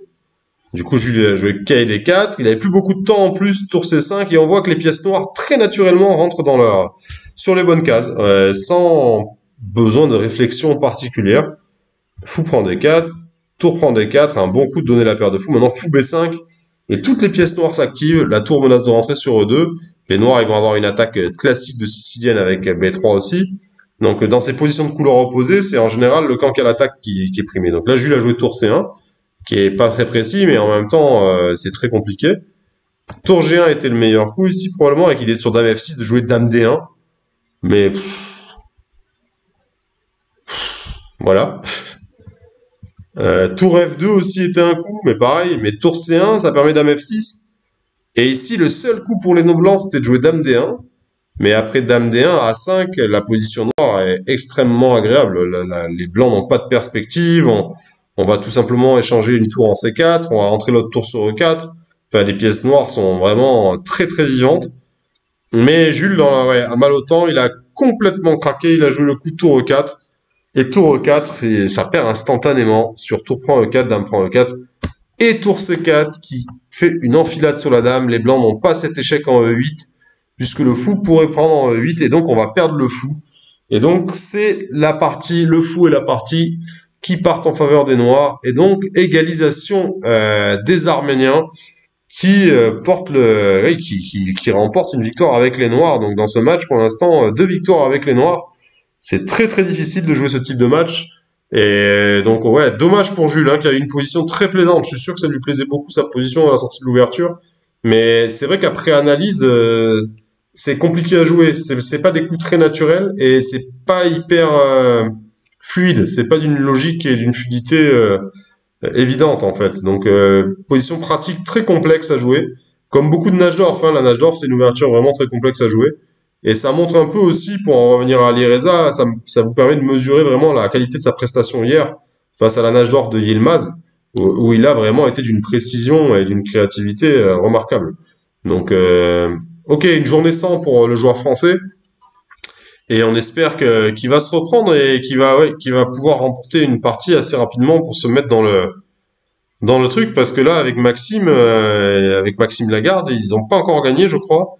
Et donc du coup, euh, c'est pas facile de jouer un tournoi où on gagne pas hein. pour en équipe en plus, ça nous met le doute, ça ça c'est difficile d'avancer donc euh, euh, j'espère vraiment j'espère vraiment de que que Jules et Maxime vont pouvoir bénéficier correctement de cette journée de repos afin de, de revenir en forme. En parlant de Maxime,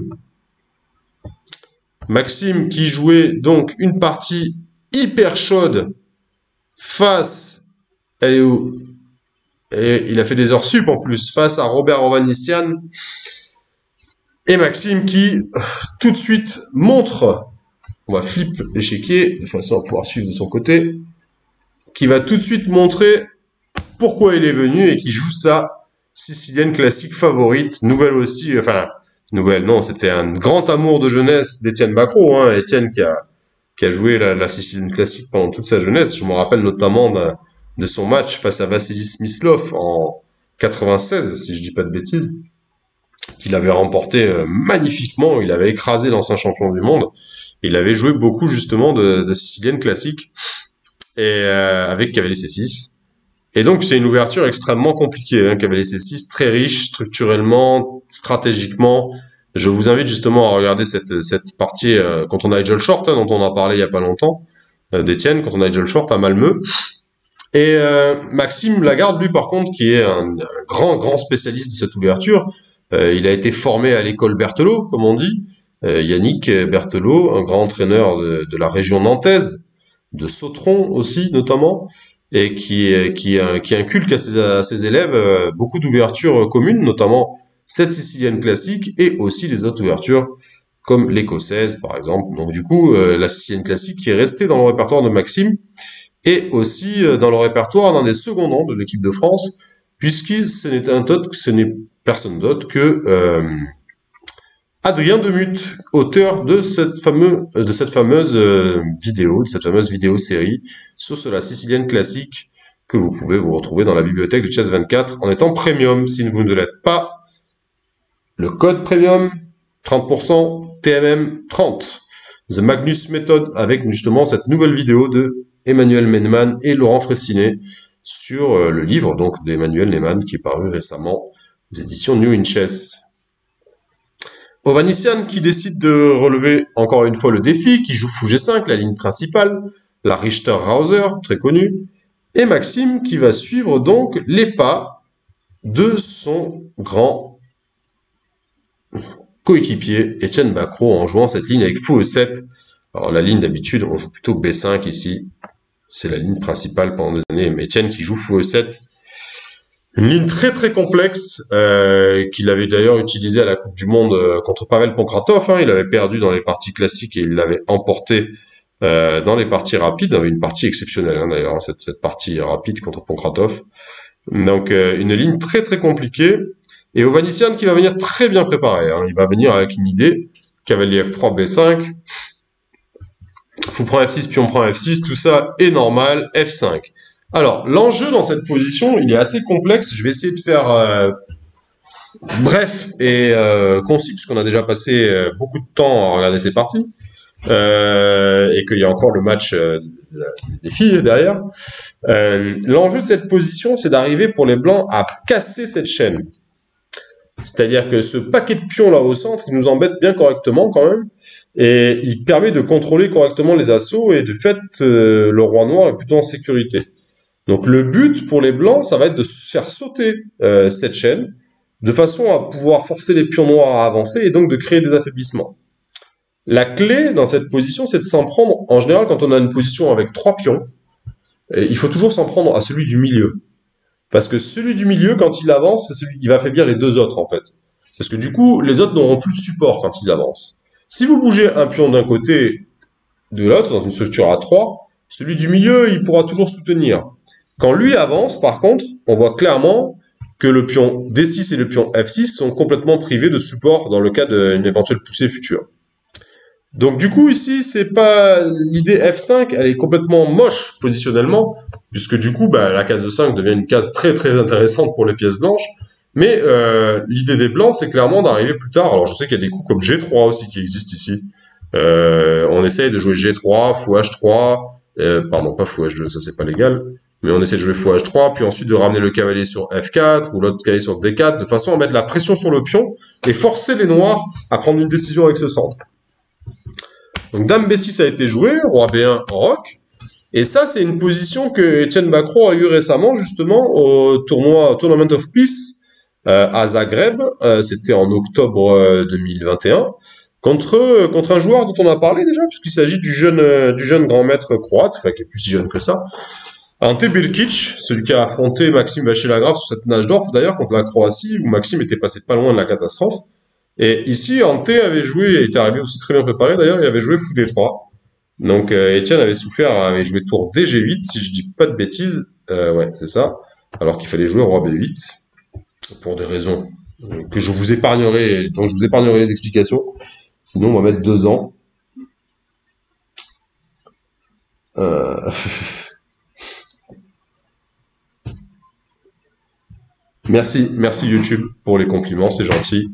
Euh, ça mérite pas tant, hein. croyez-moi que je fais pas, c'est pas un travail d'une qualité très précise non plus. Euh, c'est surtout le, but, c'est d'arriver à vous proposer quelque chose et pouvoir ensuite, euh, voilà, vous rendre, rendre la partie, on va dire un peu plus, les parties un peu plus accessibles. même si, bon, j'ai aucun doute sur votre capacité à pouvoir déjà les comprendre. Donc il a joué à 3 au Vanician, et c'est vrai que c'était une surprise, Mais en fait, ça n'en est pas une puisque c'est le coup principal de l'ordinateur. Donc j'ai mis en marche ma machine, je l'ai fait tourner, euh, j'ai mis la marche la plus puissante, je l'ai fait tourner sur la machine la plus puissante. Et A3, c'est le coup principal dans cette position. Euh, et ainsi que roi B8 et D4. Hein. C'est aussi le coup principal proposé par euh, Stockfish ou Lila dans ces positions. Et là, Maxime va prendre une décision euh, thématique, mais euh, très délicate parce qu'il va faire, euh, il va se priver en fait de, jeu. Je pense ici, et je pense qu'il doit être d'accord avec moi, enfin je sais pas d'ailleurs, il faudra que je lui demande. Enfin aujourd'hui je vais le laisser. Mais il fallait jouer un truc comme ça ici. Alors peut-être pas H5, hein, c'est peut-être pas nécessaire, mais ça me semble assez logique. Ou de, ouais, H5, ça me semble assez logique quand même. Euh, et garder l'idée qu'il a eu dans la partie pour plus tard. Le seul inconvénient dans cette position pour les noirs, c'est que en fait après un coup comme par un fou E2, admettons qu'on joue un coup comme H4, c'est encore logique. Maintenant les blancs en fait leur idée principale dans toutes les finales de classiques, c'est de s'en prendre à cette chaîne de pions qui est affaiblie et donc de jouer le petit coup A4 qui est quand même très embêtant. Hein. A4 ça peut être vite euh, désagréable. Mais ok, on peut prendre tout simplement sur A4, il prend A6, on joue roi C7 par exemple. Le cavalier peut pas prendre sur A4 parce qu'il y a toujours du tour à 8 avec le clouage. Et ok, la position blanche est légèrement supérieure, mais les chances noires ne sont pas, ne sont pas inexistantes. À la place, Maxime, il a choisi le thématique D5. D5, c'est un sacrifice de pion thématique dans le but d'ouvrir les lignes pour la paire de fou. Mais le problème, c'est que après pion prend, cavalier prend D4, dame prend, dame prend, tour prend. Ici, il y avait une option autre qui existait, c'était E5. Très intéressant, E5 ici. Mais le problème de ces coups comme ça, c'est qu'en fait, après tour D2, par exemple, fou prend F5, là, on se dit avec les noirs, bah, je vais juste reculer le fou et puis je vais commencer à avancer tous les pions.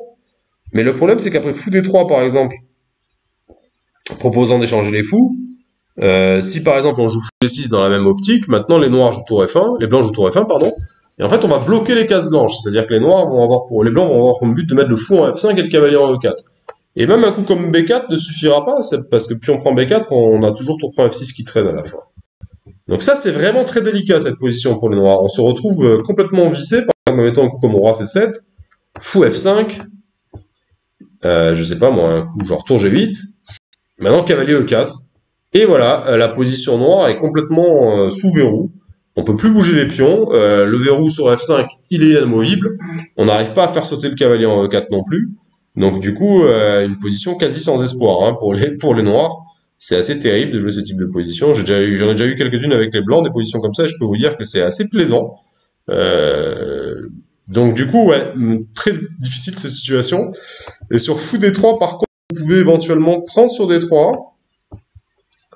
Et après tour prend, jouer F5 tout de suite. Mais avec le problème quand même d'avoir à faire face à cette position. Maintenant, F6, et là, donc la menace F5. Pardon, on menace F5, donc du coup, tour 1 maintenant. On force en fait la, chaîne noire à devenir, euh, à devenir fixée, à devenir stable. Et après cavalier E4, on peut toujours pas jouer F5 parce que le fou serait en l'air. Et donc il faut jouer d'abord tour G8, là on menace F5, et là les blancs ils auraient le très précis G4. Mais c'est pas si clair ça. C'est-à-dire que par exemple pion prend, cavalier prend, E4, c'est pas si évident pour les pour les blancs, mais bon, il y a une finale, je crois, j'avais regardé, il y a une finale qui est à peu près forcée, c'est celle-là. Vous allez voir, tac, tac. Alors c'est pas du goût de Maxime, ça c'est sûr, euh, je le connais. Il aurait pas du tout aimé avoir cette position, mais euh, c'est quand même un moindre mal. Les chances, les chances de faire nul pour les Noirs sont assez élevées quand même, je pense. Donc euh, c'était une possibilité pour pour Maxime, mais bon on allé loin hein, bien sûr. Mais c'était cette, cette idée E5 méritait l'attention je pense, et euh, je vois pas d'alternative autre pour les blancs en fait. Mais puis on prend des 5 ouais, puis on prend des 5 c'est un peu comme un comme un pas un abandon, mais comme une concession de dire bon ben ok je vais essayer de trouver le jeu et j'estime que ma position est pas bonne, mais je vais essayer de me battre. Tour prend D5, c'est pas le plus précis pour euh, Ici, A4 était plus pénible. Mais bon, encore une fois, beaucoup plus facile à dire alors à la maison. Et fou C6. Et en fait, cette position, elle est pas si évidente. Mais c'est clair que les noirs ont des compensations, mais pas plus, quoi. Donc, euh, Position très intéressante à jouer, un choix pratique intéressant. Évidemment, A4 aurait posé d'autres problèmes. Mais bon, ok. Maxime a joué fou D3. Tour 8. Alors, fou prend G2, ça aurait pas donné grand-chose. Puisqu'après fou prend G2, tour G1, fou C6, on aurait tour G7. Avec une position blanche hyper active. Mais à la place de jouer sur fou D3, il aurait peut-être été intéressant de jouer tour G8 d'abord. Peut-être plus précis mais pas si simple encore. Par exemple, fou E4, maintenant on va prendre, cavalier prend, tour prend G2, roi C7. Et ouais, je vois pas trop de facilité par un coup comme cavalier C5, maintenant on peut prendre tout simplement. Et on craint pas cavalier prend A6, roi ici, puisque maintenant on a toujours le contre-jeu avec le pion H. Pion H qui devient très dangereux. Je crois qu'après tour G8, euh, les noirs étaient, étaient hors de danger. Mais bon, j'ai peut-être loupé quelque chose. Donc du coup, Maxime il a joué tour 8, tour D1, fou B6. Alors il n'a pas joué fou prend G2, je pense encore une fois à cause de tour G1 et tour, et tour G7. Donc fou B6, fou E2. Là maintenant il a pris, tour D6, roi C7, tour prend F6, fou D4, et on va avoir une séquence de coups euh, relativement forcée. Alors, c'était encore plus forcé si on avait mis le roi sur D8. Ouais. Mais bon, c'est pas très naturel de mettre le roi sur D8, mais bon, il y a des nuances importantes par rapport à la partie. Donc il a joué roi C6, F6, fou prend C3. Tour aussi, c'était une option ici. Tour aussi, c'était une option tout à fait jouable, avec l'idée d'échanger le pion H contre le pion... Euh, de jouer avec deux pions de moins, mais de conserver par exemple la paire de fous, comme ça. Et de conserver les tours en fait. Donc du coup, on a peut-être un peu plus de contre-jeu avec les tours. Mais bon, ok, Maxime, il a fait un autre choix, pas mauvais, hein, parce qu'objectivement, euh, ça va. Tour prend E7, puis on prend E7, roi D7, tout ça c'est forcé. Puis on prend C3, roi prend E7. Et C4. Sauf qu'ici, Maxime s'est trompé. Et ici, il aurait dû prendre en C4, et après, fou prend C4, jouer à 5, qui était la même position que la partie. À la place, il a joué fou C6, et ici, il y avait une nuance, c'est-à-dire qu'avec le pion sur B, cette position, elle est très compliquée à tenir. J'avais mis une ligne, par exemple, qui est euh, l'exemple de ça. Mais c'est le problème du pion sur B. Hein. C'est qu'en fait, on va juste aller chercher le pion H. on va tout simplement aller chercher le pion H en manœuvrant quelques, quelques histoires. Hop, on échange le pion C, on conserve, et maintenant c'est comme à peu près dans la partie. Et on va chercher le pion H. Ça, c'est une position perdante. Il y avait un autre choix, un autre choix beaucoup plus trivial. C'est la même chose, hein, c'est la même idée. Voilà, hop. Mais à un moment, on va jouer C4, en fait. Et puis, on va aller chercher le pion H. Voilà. Hop.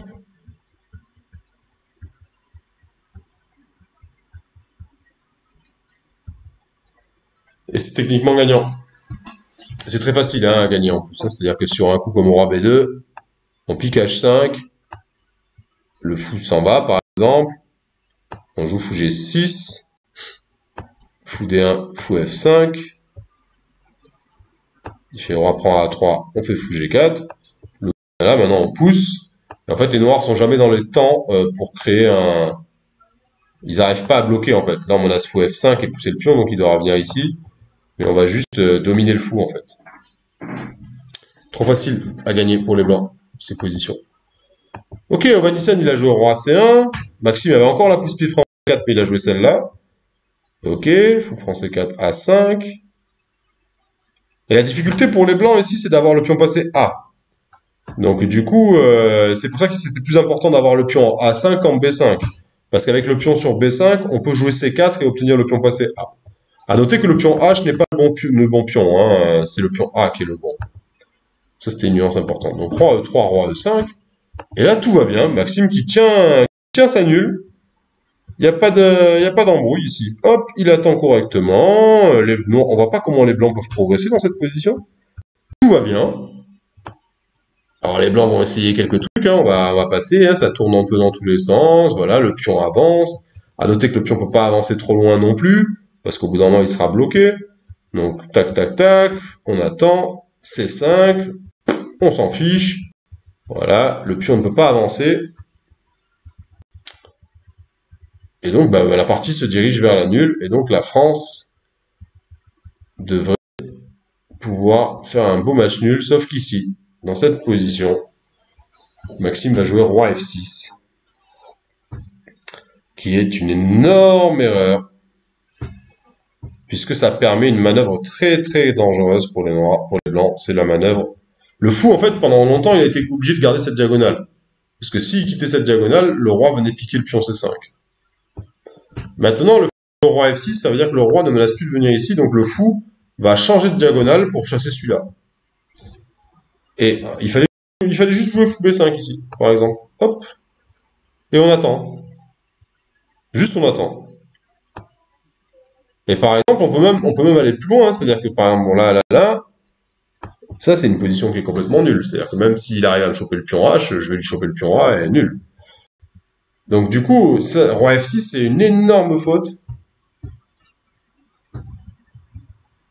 Puisque maintenant, le fou est délogé de sa position de bloqueur en C6. Et en fait, avec mon fou, je vais mettre mon fou en B7, avancer le pion C, et donc je vais sortir le roi de la protection de la case F4, et ensuite je vais aller chercher le pion H. Et le problème, c'est que dans ces finales de roi, le roi, il sera soit en C7, soit en C6, et il sera beaucoup trop loin euh, pour protéger. Donc fou E8 a été joué. Bon là, il a tourné un peu, il a fait un peu n'importe quoi avec les blancs. Euh, tac, tac, tac. Et on a une forme de zigzag ici. Le roi noir ne peut pas bouger. Le roi, il est obligé de rester ici, parce qu'il faut que sur C6, qu'il soit en possibilité de jouer au roi D6. Donc là, les blancs jouent fou F5, fou F3, on attend. Le roi peut toujours pas bouger, parce que roi E6, ici, on pourrait se dire, ah bah tiens, je vais jouer roi E6, mais il y a fou G4, qui est terrible, qui force l'échange des fous et qui gagne la partie. Donc le fou est obligé de rester sur la diagonale, et maintenant fou G4, fou B3, et fou D7. Et maintenant, le roi est en, est en, peut rentrer ici, en G4. Euh, le roi menace de rentrer sur G4 et H5. Alors, roi G4, c'est pas vraiment une menace en l'état, parce que fou D1 devient dangereux. Donc les blancs vont attendre, ils ont joué fou F7. Alors, ils auraient pu jouer un coup comme euh, fou D1 tout de suite. Mais sur fou D1 tout de suite, les blancs vont faire de même, ils vont attendre avec fou E8. Fou E2, et maintenant c'est 6. Roi ici, et le roi rentre par F4. Et donc on va pas pouvoir euh, empêcher l'arrivée du roi ici, et donc le pion va être obligé d'avancer sur H5. Donc fou F7 a été joué, roi G4, fou G6, C6, roi D6, et, roi F, et fou F5 d'abord, pardon, on met le fou en E4. Et voilà, le roi rentre. Donc là, c'est vraiment une question de technique pure. Hein. Il a piqué H5. On met le fou en B3. Le roi en F6. Et Maxime a abandonné. Puisque le seul moyen d'empêcher le fou, le pion d'avancer, c'est de jouer fou F3. Mais après H5, on n'est juste pas dans les temps avec les blancs, avec les noirs, pardon, pour aller chercher le pion, puisqu'on a toujours le coup à 4. Et on va juste protéger le pion avec le fou en E8, et puis on va ramener notre roi et gagner le pion A et ensuite faire une dame avec, euh, avec le bon fou. Une, défaite terrible pour l'équipe de France, puisque Maxime a eu tout d'abord une bonne position, hein, franchement. Je pense qu'après tour G8, c'est vraiment très intéressant. Même qu'il prend D4, c'était intéressant aussi. Une position tout à fait correcte, on va dire, un peu inférieure, mais bon, voilà. Et après, il a très très bien défendu la finale, jusqu'à permettre, euh, c'est une erreur, ouais, c'est de la fatigue, c'est c'est pour ça qu'on dit toujours que les positions on est un peu mieux, il faut toujours continuer jusqu'au bout parce que bah, l'adversaire peut craquer à un moment. Et malheureusement pour nous, c'est ce qui s'est passé ici dans cette partie. Et ça compromet, euh, ça, ça, change un peu tout maintenant. Hein. C'est vraiment cruel hein, parce que malgré une victoire de d'Ali Reza au premier échiquier, on perd ce match avec les Noirs en plus. Alors bon, les joueurs, il faut pas blâmer. Euh, moi j'ai lu, j'ai entendu des. Je, je, c'est très facile à dire hein, quand on est en train de regarder. Euh, les parties sur Internet avec un logiciel qui tourne en permanence, qui nous indique ce qui va ou ce qui va pas. Euh, c'est très facile hein, de critiquer les uns et les autres. C'est très facile de taper sur, euh, de dire lui il a mal fait, lui il aurait dû mieux faire. Enfin bon, c'est c'est un peu ridicule d'ailleurs de, de pouvoir se permettre de faire ça. Moi je ressens surtout, je suis surtout très triste pour eux parce que les premiers déçus, croyez-moi, je connais le caractère de Jules et Maxime. Maxime doit être fou furieux d'ailleurs, et Jules doit être extrêmement déçu, et sa confiance peut en prendre un, coup. La journée de repos arrive au bon moment, je pense, parce que le tilt n'était pas loin. Et, il faut vraiment soutenir cette équipe de France plutôt que de la de commencer à brimer les uns les autres et de dire que l'un ou l'autre ne méritait ou ne méritait pas. Croyez-moi que l'équipe de France qu'on a alignée sur l'échiquier, sur le papier, c'est probablement l'équipe de France la plus forte euh, possible et envisageable. Ok, il y avait la possibilité aussi, bien sûr, il y a d'autres joueurs hein, qui étaient susceptibles de pouvoir jouer, mais et, qui sont tout aussi forts et tout aussi euh, méritants. Mais bon, voilà, le choix est, celui qu'il est. Et, vu la prestance, euh, la prestation, les prestations récentes des joueurs présents dans l'équipe de France, je vois pas de discussion possible et envisageable. Euh... Donc voilà, une défaite euh, très très très désagréable pour euh, les Français, vraiment imméritée. On va regarder ce qui s'est passé dans le match des filles qui affrontait la Grèce. Alors malheureusement, j'ai pas envoyé les résultats, je suis désolé. Donc on va être un peu spoil, mais échec par échiquier. Donc Marie se bague affrontée avec les Noirs Solakidou, Stavroula Solakidou. Donc on avait une partie très intéressante euh, avec une joueuse grecque euh, très forte. Donc ici, Marie, contrairement à des C4 qu'elle jouait quand elle était plus jeune, elle a joué aussi sa spécialité, hein, bien sûr, hein, la semi-slave. Et de cela qui a joué une ligne euh, assez solide. Mais, comment dire, c'est joué au top niveau, c'est avec les blancs, mais c'est typiquement le genre d'ouverture qui est un peu moins, qui est très dangereuse pour les blancs si elle n'est pas,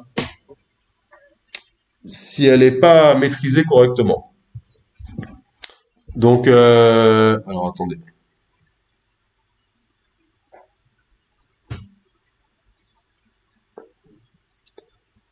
C'est voilà, c'est le type d'ouverture avec les blancs où on peut vite se retrouver mal sans, sans avoir rien fait de mal. C'est juste quand on maîtrise pas trop le truc, ça peut être compliqué. Donc tour AD1, déjà tour AD1 c'est discutable ici. Mais bon, ok, tour AD1, tour AD8, tour F1, tour F8, on joue un peu au chat et la souris ici. Et les noirs préparent leur rupture, hein, que ce soit celle avec E5, celle avec C5. Et euh, tour F8, fou F1. Et ça, c'est un plan normal pour les blancs. Maintenant, les blancs, ils doivent arriver à jouer G3, fou G2 le plus vite possible, de façon à ce que quand les noirs jouent C5 ou E5, quand on va prendre en D5, on va créer un pion faible et le fou en G2 va pouvoir protéger ce pion faible. Alors attendez, je crois que j'ai un problème avec la connexion.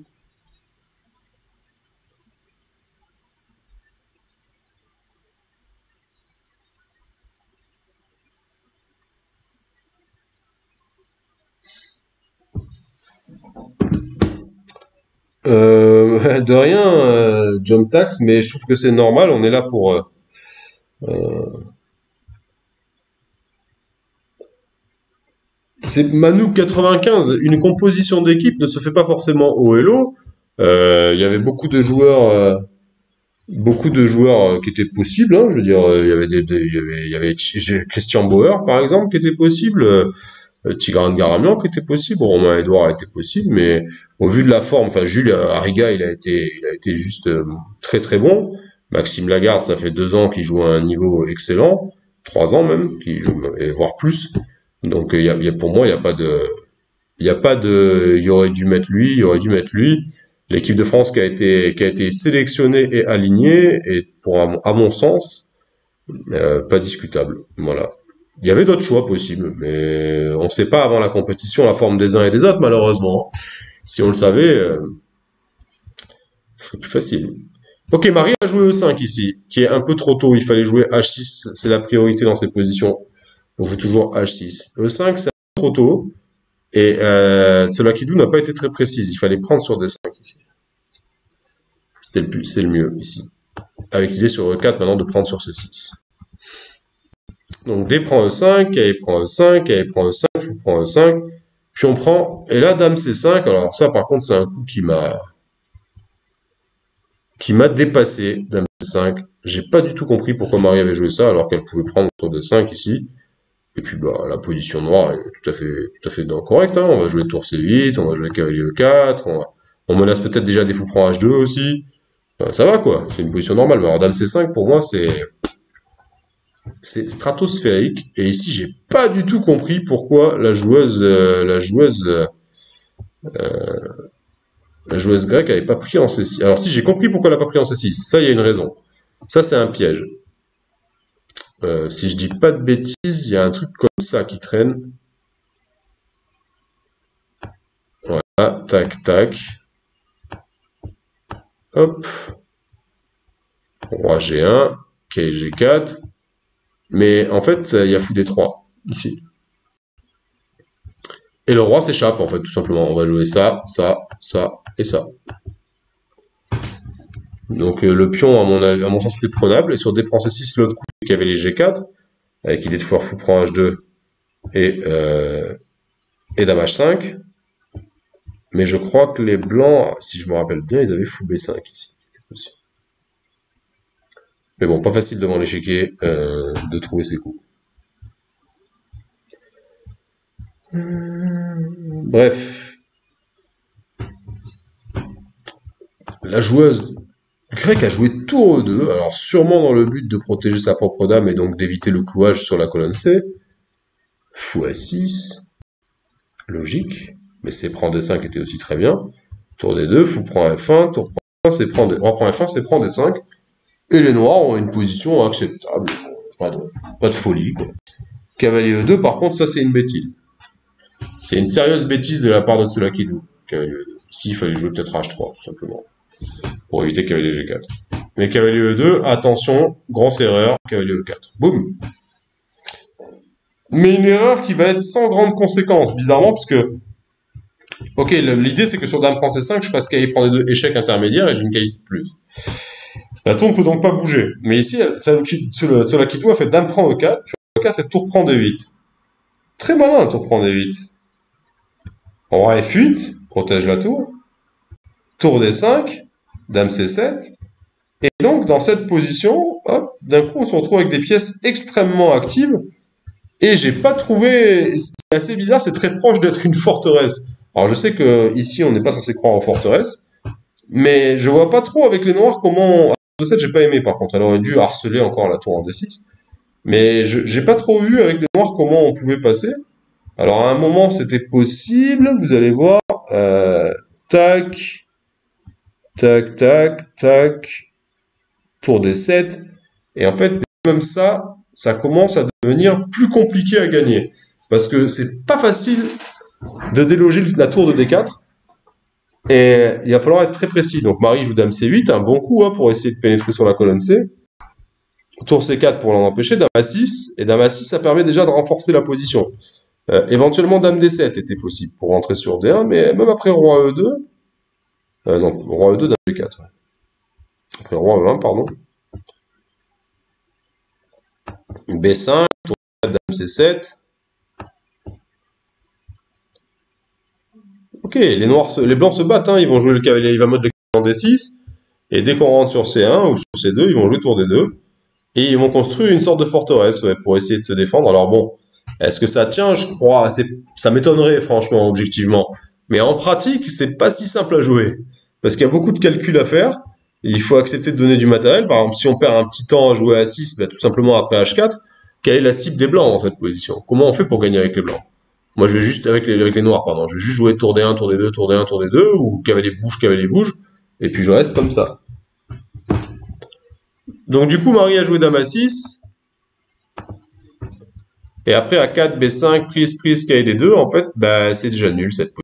C'est terrible, mais c'est une position complètement nulle. Alors là, il y avait un petit piège quand même. Si G3, ça tend un piège. Si dame prend H2, il y a tour H4, qui enferme la dame, très joli. Dame H3, Roi G1, et en fait, Paris, c'est, voilà, la, tour s'est juste baladée sur la quatrième rangée, et nul. Donc, une, résultat un peu frustrant, je pense, pour la joueuse française, qui est passée pas loin d'exploiter une grosse erreur de l'adversaire, à moins que ce soit calculé, je pense pas, parce que ça me semblait pas évident. Et donc, euh, une nulle, cela dit, assez correcte hein, pour le match, tellement on était favori sur les autres échiquiers. Oh, euh, la deuxième partie qui s'est terminée, c'était la première partie qui s'est même c'était la partie de Sophie, avec euh, le coup du match dans cette partie. Donc euh, Sophie qui a fait nul, mais qui a joué un coup donc dans une Nimzo, un très joli coup. Alors j'en ai parlé un peu avec elle tout à l'heure et elle m'a dit qu'elle l'avait à la préparation. Du coup, vous allez voir, et qu'elle avait demandé justement à son capitaine si elle prenait la répétition ou si elle jouait pour le gain. Et donc dans cette position, oui, ce sacrifice de pièces qui prend des 5, c'est un sacrifice assez connu, puisque après qu'il prendre des 5, les blancs vont avoir fou prend H7, on va prendre H7, dame H5 échec, roi G8, dame prend F7, H7 et tour F3, avec une attaque de mat complètement écrasante. Et donc, après qu'il prend des 5, c'est un piège, on va dire, en quelque sorte, puisqu'on se dit, mais après dame prend des 5, fou C4, qu'est-ce que je fais avec les noirs ici? Mais en fait, c'est nul ici. Si je joue juste dame D8, cavalier prend F7, échec, dame C7, les noirs n'ont pas de, les blancs n'ont pas de bonne découverte. Et ils peuvent tout simplement bah, bouger le cavalier où ils veulent, hein, cavalier H6, cavalier D8, et répéter les coups entre cavalier D8, cavalier F7, cavalier D8, cavalier F7, faire match nul. Mais Sophie ici avait donc prévu tout ce qu'il fallait, et elle a joué un coup toujours très agréable à jouer, mais euh, il fallait connaître quand même les, les situations. Elle a joué dame prend G2. Elle a joué Dame prend G2 qui est très très fort. Alors c'est très très joli hein, ce sacrifice de Dame. K prend E5. Le roi revient en G1. Et maintenant on prend son C4 et on joue tour à D8. Donc on a sacrifié une dame pour deux pièces. Mais le roi blanc est très très faible ici, puisque le fou B7 coupe littéralement euh, toute la diagonale. Le cavalier noir peut se rendre sur la case E4. On voit très bien hein, que les cases blanches la case E4 sont magnifiques. Et les tours noirs peuvent aussi euh, ils peuvent aussi se joindre à l'action avec euh, en, coulissant sur la sixième rangée. Donc euh, une position très difficile à jouer pour les blancs. Et la joueuse, euh, grecque qui s'est trompée très vite avec fou C1. Et Sophie aussi avec fou A6 qui n'était pas le plus précis, mais bon, toujours facile encore une fois de critiquer. Fou D5 était a priori le meilleur coup, avec idée sur tour C2 par exemple de piquer le pion de manière très gourmande pour ensuite revenir sur des 5. Et vraiment, hein, les compensations euh, avec les pièces qui dominent l'échiquier, cette position, elle est vraiment magnifique, hein, avec cette structure blanche qui permet vraiment une, euh, un rayonnement des pièces noires sur l'échiquier qui est magnifique. La coordination des pièces noires est vraiment superbe. Donc fou à 6 joué, Sophie qui s'est empressée de récupérer le matos, mais avec un bon avantage. Et ici, un moment qui était important. Elle a joué, elle a fait, elle a beaucoup réfléchi ici, Sophie, pour jouer H5. Donc, le meilleur coup, c'était A6 ici. De façon à ce que sur fou prend C5, tour C8. Alors, il fallait évaluer les conséquences de cette finale. En fait, cette finale, elle est difficile à jouer pour les blancs parce que leur roi est très mal placé. C'est-à-dire qu'avec leur roi en G3, tout va bien. Mais bon, cette position, elle est quand même pas si simple. Il y a beaucoup de plans pour les noirs euh, pour essayer de gagner. Avec les rois noirs, on peut très vite accéder à la case F5, par exemple. Mais objectivement, ok, ça doit être égal, mais il y a des grandes chances de gain, je pense, pour les noirs quand même. Sophie a joué H5, et son idée, c'était de jouer cette position, et donc de créer une sorte de réseau autour du roi, avec ce pion H aussi, et la tour sur la seconde rangée. Réseau qu'elle va presque obtenir, hein, vous allez voir. Alors déjà, même H3, euh, ouais, c'est pas très précis. Elle a joué tour C3, et F6, mais elle a jamais mis la tour en A3. Ça, c'est pas que j'ai pas compris ça, ouais. Pourquoi elle n'avait pas joué tour A3, Sophie Mais ouais, c'était un coup assez, assez logique. F6, tour B4 et G3. Alors, tour B4, c'est une faute, oui, parce que ça permet tour C2 échec. Et en fait, où que le roi bouge, on va jouer cavalier F2 et on va attaquer à la fois A2 et à la fois H3. Et donc, on va gagner un gros pion parce que ça, c'est pas n'importe quel pion. Du coup, on peut se concentrer sur l'aile roi et c'est quand même des chances de gain assez élevées. Euh, même si c'est pas encore gagné. Hein. Par exemple, les blancs peuvent se défendre comme ça, comme ça. Je crois que c'était tour F4 avec l'idée de faire échec. Et bon, c'est bien encore du boulot, quoi. Sophie a joué cavalier G3. A4, tour A3, fou C7, 3 F5. Je vais accélérer un peu, hein, parce qu'on est déjà pouf, à la bourre. Et là, les coups ont été répétés. il fallait peut-être jouer autre chose. Ici, peut-être jouer tour A2 immédiatement, mais c'est pas si facile déjà. Je crois que cette position, il fallait jouer tour A2, avec idée sur roi F3, de jouer cavalier E2, je crois, non? Non, c'était pas là, je plus. Mais bon, c'est je, connaissant Sophie, elle devrait être très frustrée parce que euh, je pense pas qu'elle ait joué Dame prend G2 pour euh, faire joli. Elle a joué dame prend G2 clairement pour jouer pour le gain. Et je pense qu'elle rate sa chance, peut-être ici déjà. Euh, non, ici ça va. Mais ici, je pense que fou 6 c'est pas forcément dans le bon sens d'essayer de gagner plus de matériel. Ici, il faut vraiment essayer de jouer la position et ne pas essayer de récupérer le matos. Alors bon, encore une fois, c'est facile à dire, mais voilà, commencer à centraliser les pièces, par exemple comme ça, puis ensuite cavalier E4. La tour, euh, la tour a plus beaucoup de cases déjà, mais on, commence à centraliser vraiment. Tour C2, là on peut faire le gourmand si on veut, mais peut-être éventuellement même F5. Donc il me plaît pas F5, non, finalement. Non, on va piquer ce pion, il mérite d'être piqué ce pion. Ce pion, il, est important, ouais. C'est un pion qui mérite, euh, qui mérite vraiment d'être piqué. Et après, on revient et on joue vraiment la pose, quoi. On joue vraiment sur la, passivité des pièces, euh, blanches. Donc c'est à mon avis ce qui aurait été le mieux, mais bon, encore une fois, toujours plus facile à dire qu'à faire. Donc voilà, nul de Sophie, Natacha qui a aussi fait nul, donc trois nuls avec cette variante très rare qui est jouée par les Noirs. Et Natacha qui a eu une très bonne position à un moment. Mais c'est pas le style de position qu'elle affectionne particulièrement, ça, avec les blancs. Euh, c'est des positions un peu techniques. Euh, bon, elle est tout à fait capable de jouer technique. Mais déjà, elle part du mauvais côté, là, avec cavalier B3. C'est pas son truc, hein. Natacha, c'est une joueuse d'initiative très dangereuse, euh, qui vraiment peut, taper n'importe qui. Hein. J'en ai fait l'expérience, la douloureuse expérience. Et en fait, le moment de un moment dans cette partie. Euh, alors, il y en a plusieurs, sûr, mais on va, je vais vous montrer juste un moment euh, assez cocasse. Les Noirs ont bien joué hein, cette position. C'est qu'à un moment, on a cette situation qui a l'air complètement anodine. Et en fait, dans cette position, ben, les Noirs sont complètement gagnants.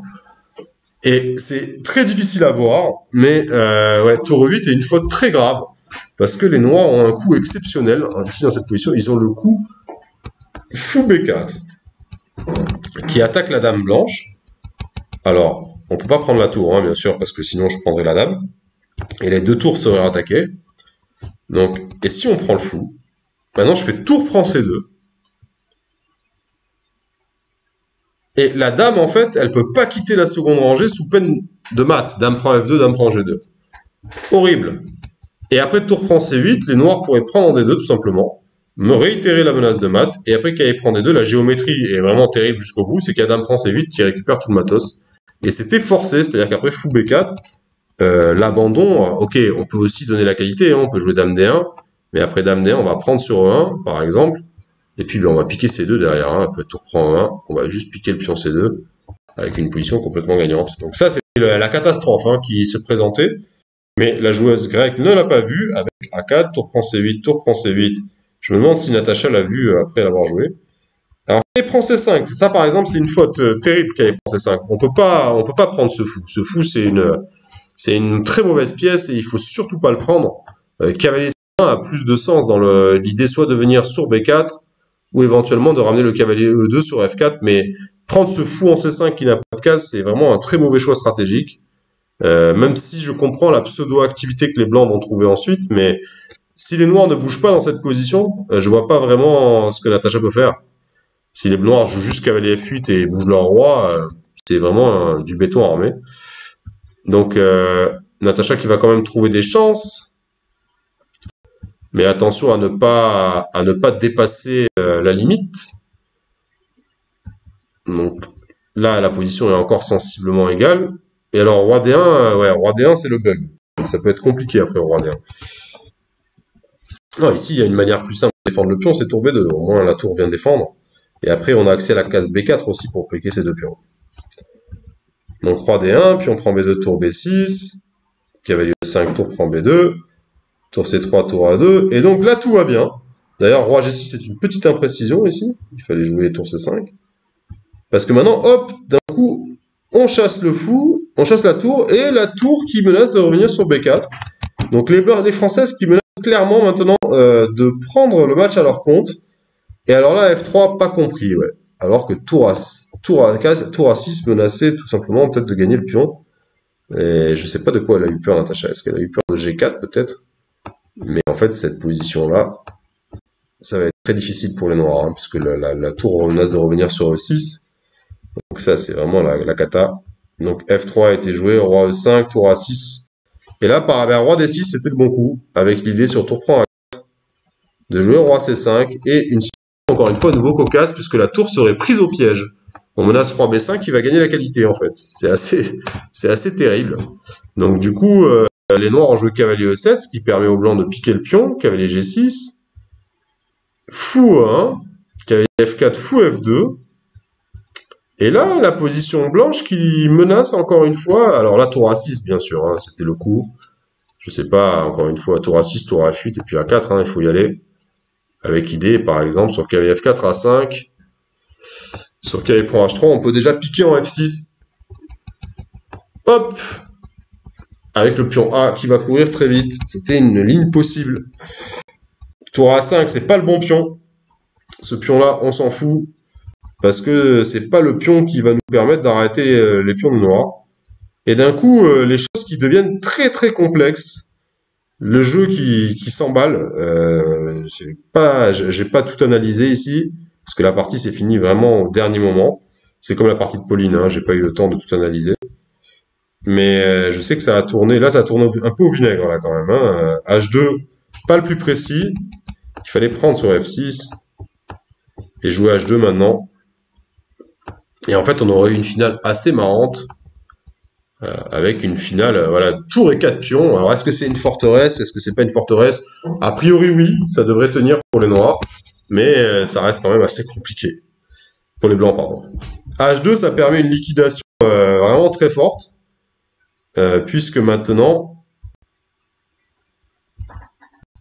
on va prendre, et maintenant, on va, avec nos pions, réussir à faire une dame, et donc les noirs qui ont répété les coups. Et donc, trois nuls sur ces trois premiers échiquiers, mais malheureusement, une partie chaude, hein, la partie de Natacha, c'était une partie hyper compliquée. Mais malheureusement, euh, la catastrophe est arrivée euh, du dernier échiquier que je... Elle où? J'ai pas la partie. Ah bah bravo. Alors attendez.